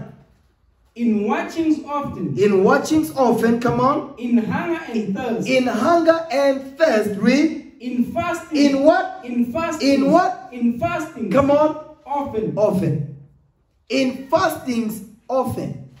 In fasting, so guess what? He fasted often. He had a consistent fasting life. That means the Apostle Paul is letting us know with all these trials that he's been through in hunger, in fastings, guess what? He says, I went through those things on often. You understand? It was a common thing I was going through. Guess what? We cannot, we are, as, as, we are teaching the gospel of Christ, we're going to go through this also. That's why we fast often in this congregation. You understand? Why? Because we're following the footsteps of our forefathers to be able to fight and conquer the war within us. Before we can have in a readiness to revenge all disobedience, we must deal with ourselves first. That's what the Lord is saying. We must deal with our own spirits first. Understand that? Give me the book of Luke, chapter 5, verse 33. Luke, chapter 5, verse 33. Let's get there. Watch this.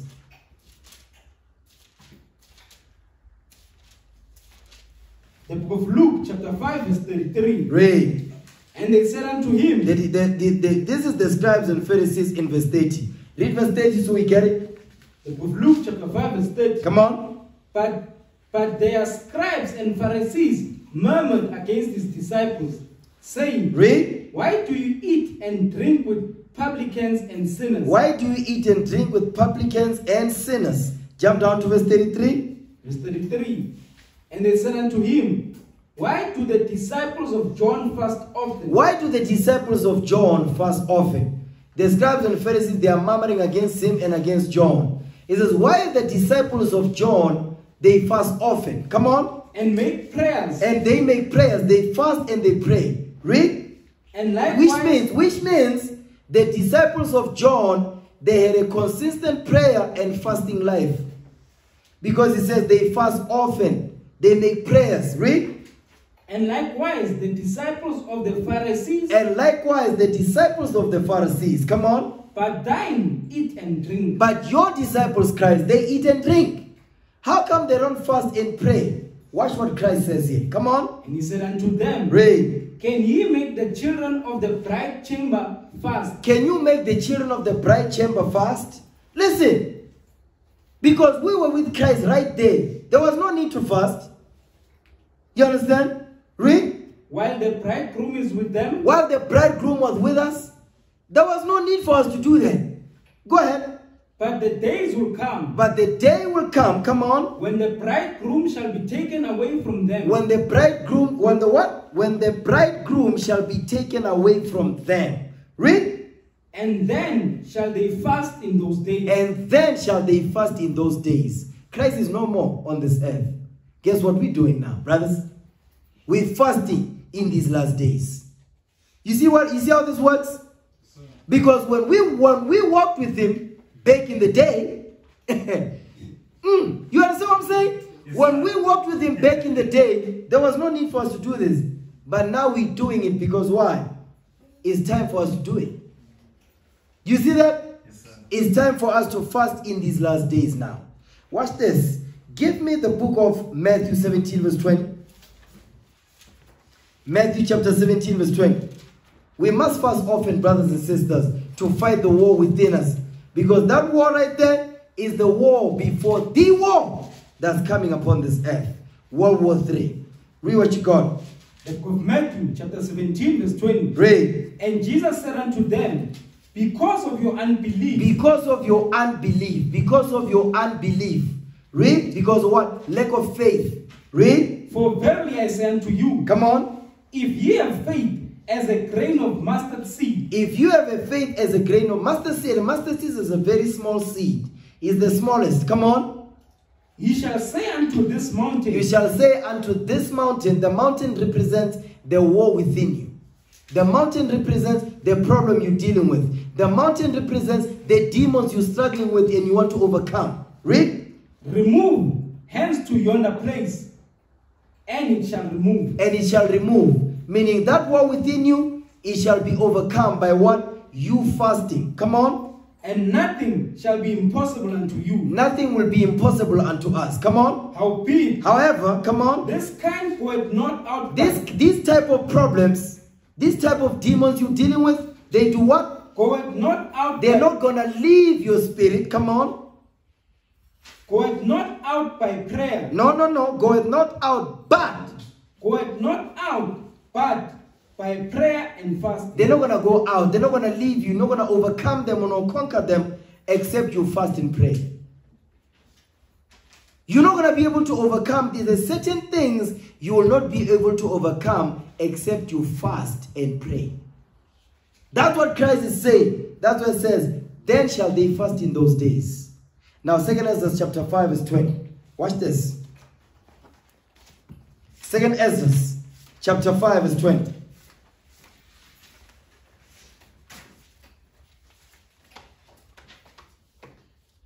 The second book of Ezra, chapter 5, verse 20. Read. And so I fasted seven days. I saw I what? I fasted seven days, This is Esdras. He says, So I fasted seven days. Come on. mourning and weeping, Mourning and weeping for all Israel. Read. like as Uriel the angel commanded me. Watch this. Come on. And after seven days, so it was So after seven days he fasted. Read. that the thoughts of my heart were very grievous unto me again. Come on. And my soul recovered the spirit of understanding. You see what happens when you fast? Your soul recovers the spirit of understanding of this Bible. Your soul recovers the spirit of understanding. So, what is that letting you know? When Christ, what we read, Christ said, This kind goeth not out but by prayer and fasting. That means if you don't fast also, as part of fighting the war within you, your soul will not recover the spirit of understanding. Why? Because you've got demons in your head, in your spirit, that are plaguing you, that are weighing your spirit down. Therefore, you cannot recover the spirit of understanding. Come on. And I began to talk with the Most High. And I began to talk with the Most High again. So when we fast, our spirit, our soul recovers the spirit of understanding, and we begin to talk with the Lord. The Lo- meaning what? The Lord begins to deal with us. So he, Christ is giving us the, the solutions here to fight the war within you. When you feel that your spirit is not is not hot as it used to, guess what? Fast, pray, keep God's commandments. You understand? Now, let's deal. Let's deal with the next point on how to fight the war within you. Faith. You must have faith, of course. You understand? You must have faith. But before we get there, watch this. Give me, go back to Tobit, okay? Go back to Tobit 12. Reaper, say it again. The book of Tobit, chapter 12, verse 8. Watch this. Prayer is good with fasting and alms and righteousness. You see that? It says prayer is good with fasting and alms and righteousness. Now, give me Tobit. Tobit chapter 4. Alms. Tobit chapter 4. Read verse. Let me see, let me see, let me see. Yeah, Tobit chapter 4. Read verse 16. The book of Tobit, chapter 4, verse 16. Come on. Give of thy bread to the hungry. Give up thy bread to the hungry. The bread is talking about the word of God. Meaning, teach your people. Read. And of thy garments to them that are naked. The garments to them that are naked is the, the garment is the word of God. To clothe your people with the garment of righteousness. Read. and according to thine abundance, give alms. He says, according to your abundance, how the Lord has blessed you, give alms. Read. And let not thine eye be envious when thou givest alms. And don't let your eye be envious when are given alms. Meaning, stop complaining when you give alms. Read. Pour out thy bread on the burial, pour out thy bread on the burial of the just, Uh-huh. but give nothing to the wicked. Don't give anything to the wicked of our people that don't hate that hate this truth. Go ahead. As counsel of all that are wise, As counsel of all that are wise. Come on. and despise not any counsel that is profitable. Don't despise any counsel that is profitable. Why? You must give alms. Not only that, but don't despise counsel that is profitable unto you.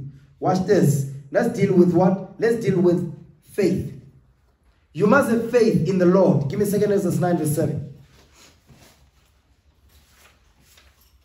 You must have faith. You know what? Before we get there, before we let's deal with application. One is righteousness, two is prayer, three is fasting, four is the application of God's laws. You must apply God's commandments. Give me Proverbs 2 verse 1. Proverbs chapter 2 verse 1. I'm almost done. We're almost done. We're almost done. The book of Proverbs, chapter 2, verse 1. Read. My son, if thou wilt receive my words If thou will receive my words, come on, and hide my commandments within thee, and hide my commandments with thee, come on. so that thou incline thine ear unto wisdom, You must incline your ear to wisdom. You must give your ear to the wisdom of the Lord. Come on. and apply thine heart, And do what? and apply thine heart, And do what? and apply thine heart, You must apply yourself to the laws of God. You must apply. Yes, you must pray. Yes, you must fast. You understand? Yes, you must give alms, but you must apply yourself to the laws of God. Read. and apply thine heart to understanding. And you must apply your heart to understanding. Sirach 6 verse 32. You must apply. The key to success is application. Sirach chapter 6 verse 32. Read it. The book of Ecclesiasticus, chapter 6, verse 32. Read. And, and stretch. No, no. Sirach 6 verse 32. The book of Ecclesiasticus, chapter 6, verse 32. Read. My son, if thou, if thou wilt, thou shalt be taught. If thou wilt, thou shalt be taught the laws of God. Come on. And if thou wilt apply thy mind, If thou will apply your mind, you must apply your mind to the laws of God. You cannot hear and not do. You must hear and do. Come on. thou shalt be prudent. You're going to be wise. Read. if thou love to hear, If thou love to hear the laws of God, come on. thou shalt receive understanding. You're going to receive understanding of this Bible. Come on. And if thou bow thy ear, thou shalt be wise. If you bow your ear to the laws of God, you're going to be prudent or wise. Give me Psalms 111 and 10. You must apply yourself to the laws of God. Application is the key to success in this truth. Psalms 111 and 10.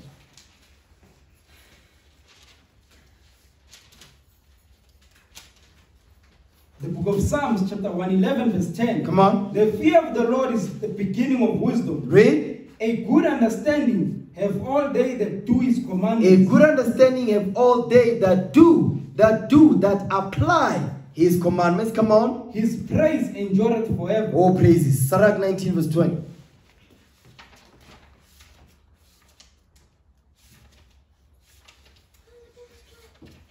The book of Ecclesiasticus, chapter 19, verse 20. Come on.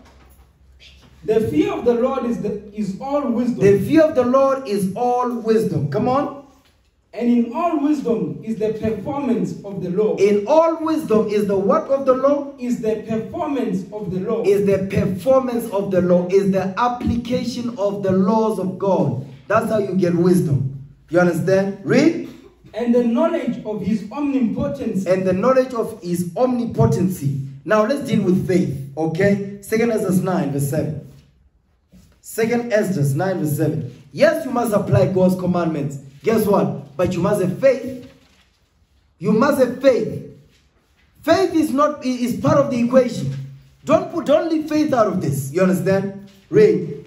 Second Ezra 9, verse 7. The second book of Ezra, chapter 9, verse 7. Come on. And everyone that shall be saved And everyone that shall be saved from captivity when the Lord returns, and shall be able to escape and shall be able to escape, to escape. Read. by his works, By his what? by his works, By his works. That's your alms. That's your righteousness. That's your application. That's your fastings. That's your prayer. All of these things that I mentioned, guess what? They fall under the works. By his works. Come on. and by faith, And by what? and by faith, and by faith. So you've got you've got alms that you do, you've got fastings that you do, you've got prayers that you do, You've got, uh, what's the other one? Prayer, fasting, alms. What else? Righteousness. Application, righteousness, which is falls under what? Works, works, works. And what? And, and by faith, And by faith. You must have faith. Go ahead. whereby ye have believed. Whereby ye believed in the Lord. Hebrews 11, verse 14. Hebrews chapter 11, verse 14. These are the tools on how to fight and overcome the war within you. Hebrews 11, verse 14. Come on. The book of Hebrews, chapter 11, verse 14. Is that what I want? No, Hebrews 11, verse. Verse. Wait, wait, wait. What verse did I write? Hold on a second. Yeah, Hebrews 11, verse 6. The book of Hebrews, chapter 11, verse 6. Come on. But without faith, it is impossible to please You see that? Without faith, it is impossible to please the Lord. So it doesn't mean that you must not have faith. You must have faith.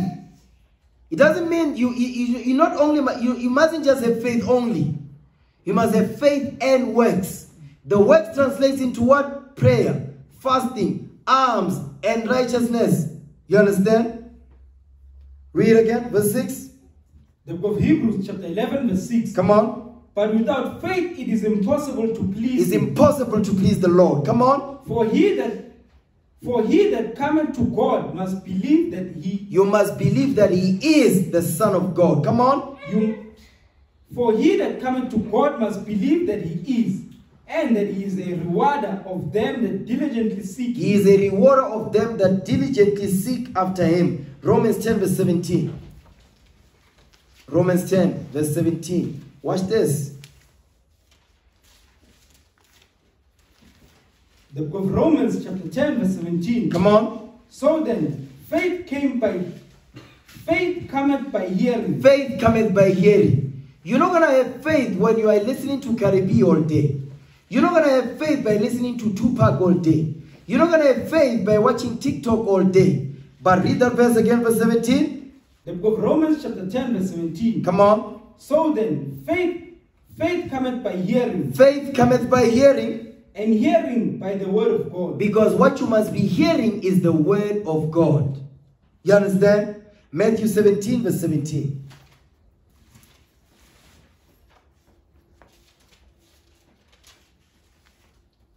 The book of Matthew, chapter 17, verse 17. Listen to what Christ says here to his disciples. Come on. Then Jesus answered and said, O faithless and perverse generation, Come on. how long shall I be with you? Read that verse again. Verse 17 again. One more again. The book of Matthew, chapter 17, verse 17. Read. Then Jesus answered and said, O faithless and perverse generation, O faithless and perverse generation. O faithless and perverse generation. Because faith was one of the biggest problems the apostles had. They had no faith. Come on. how long shall I be with you? How long shall I be walking with you, teaching you all this? Come on. How long shall I suffer you? How long shall I suffer you? Come on. Bring him hither to me. Bring the child hither to me. And Christ rebuked the devil out of the child. They couldn't do it. Why? Because they had no faith. That's why Christ says it is impossible to please him. Give me that in Luke 17, verse 5.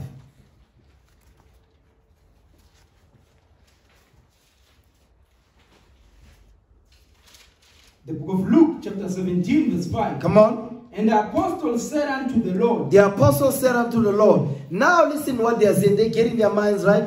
What did they say? Increase our faith. What did he say? Increase our faith. This is what they asked of the Lord. Lord, increase our faith because we are faithless and perverse generation. That's why they asked the Lord to do that thing. Read. And the Lord said, If ye had faith as a grain of mustard seed, Because Christ was also letting us know that our faith is going to be small in these last days. That's why he's comparing our faith to a grain of mustard seed. Read. ye might say unto this, Sycamore tree. ye might say unto this Sycamore, sycamore tree, sycamore tree, come on. be thou plucked up by the root, Be thou plucked up out the root, come on. and be thou planted in the sea, Uh-huh. And it should obey you. So be this sycamore tree is the is what is an example of a problem the brother or sister has. The sycamore tree is an example of a problem you have. The war within you that you must overcome. He says, It shall obey you. What is he saying? The sin that is overpowering you on that day, when you make that decision, that sin will obey you. Instead of you obeying it, it shall obey you. You're going to fight the war within you and you will win. You will overcome. That's what he's saying right there. You might understand that? Oh, praise to the Most High. Sisters, did you understand that? Oh, praise to the Lord. Brothers and sisters, that's the end of the class this day. Oh, praise to the Lord. Let's give the Lord a hand.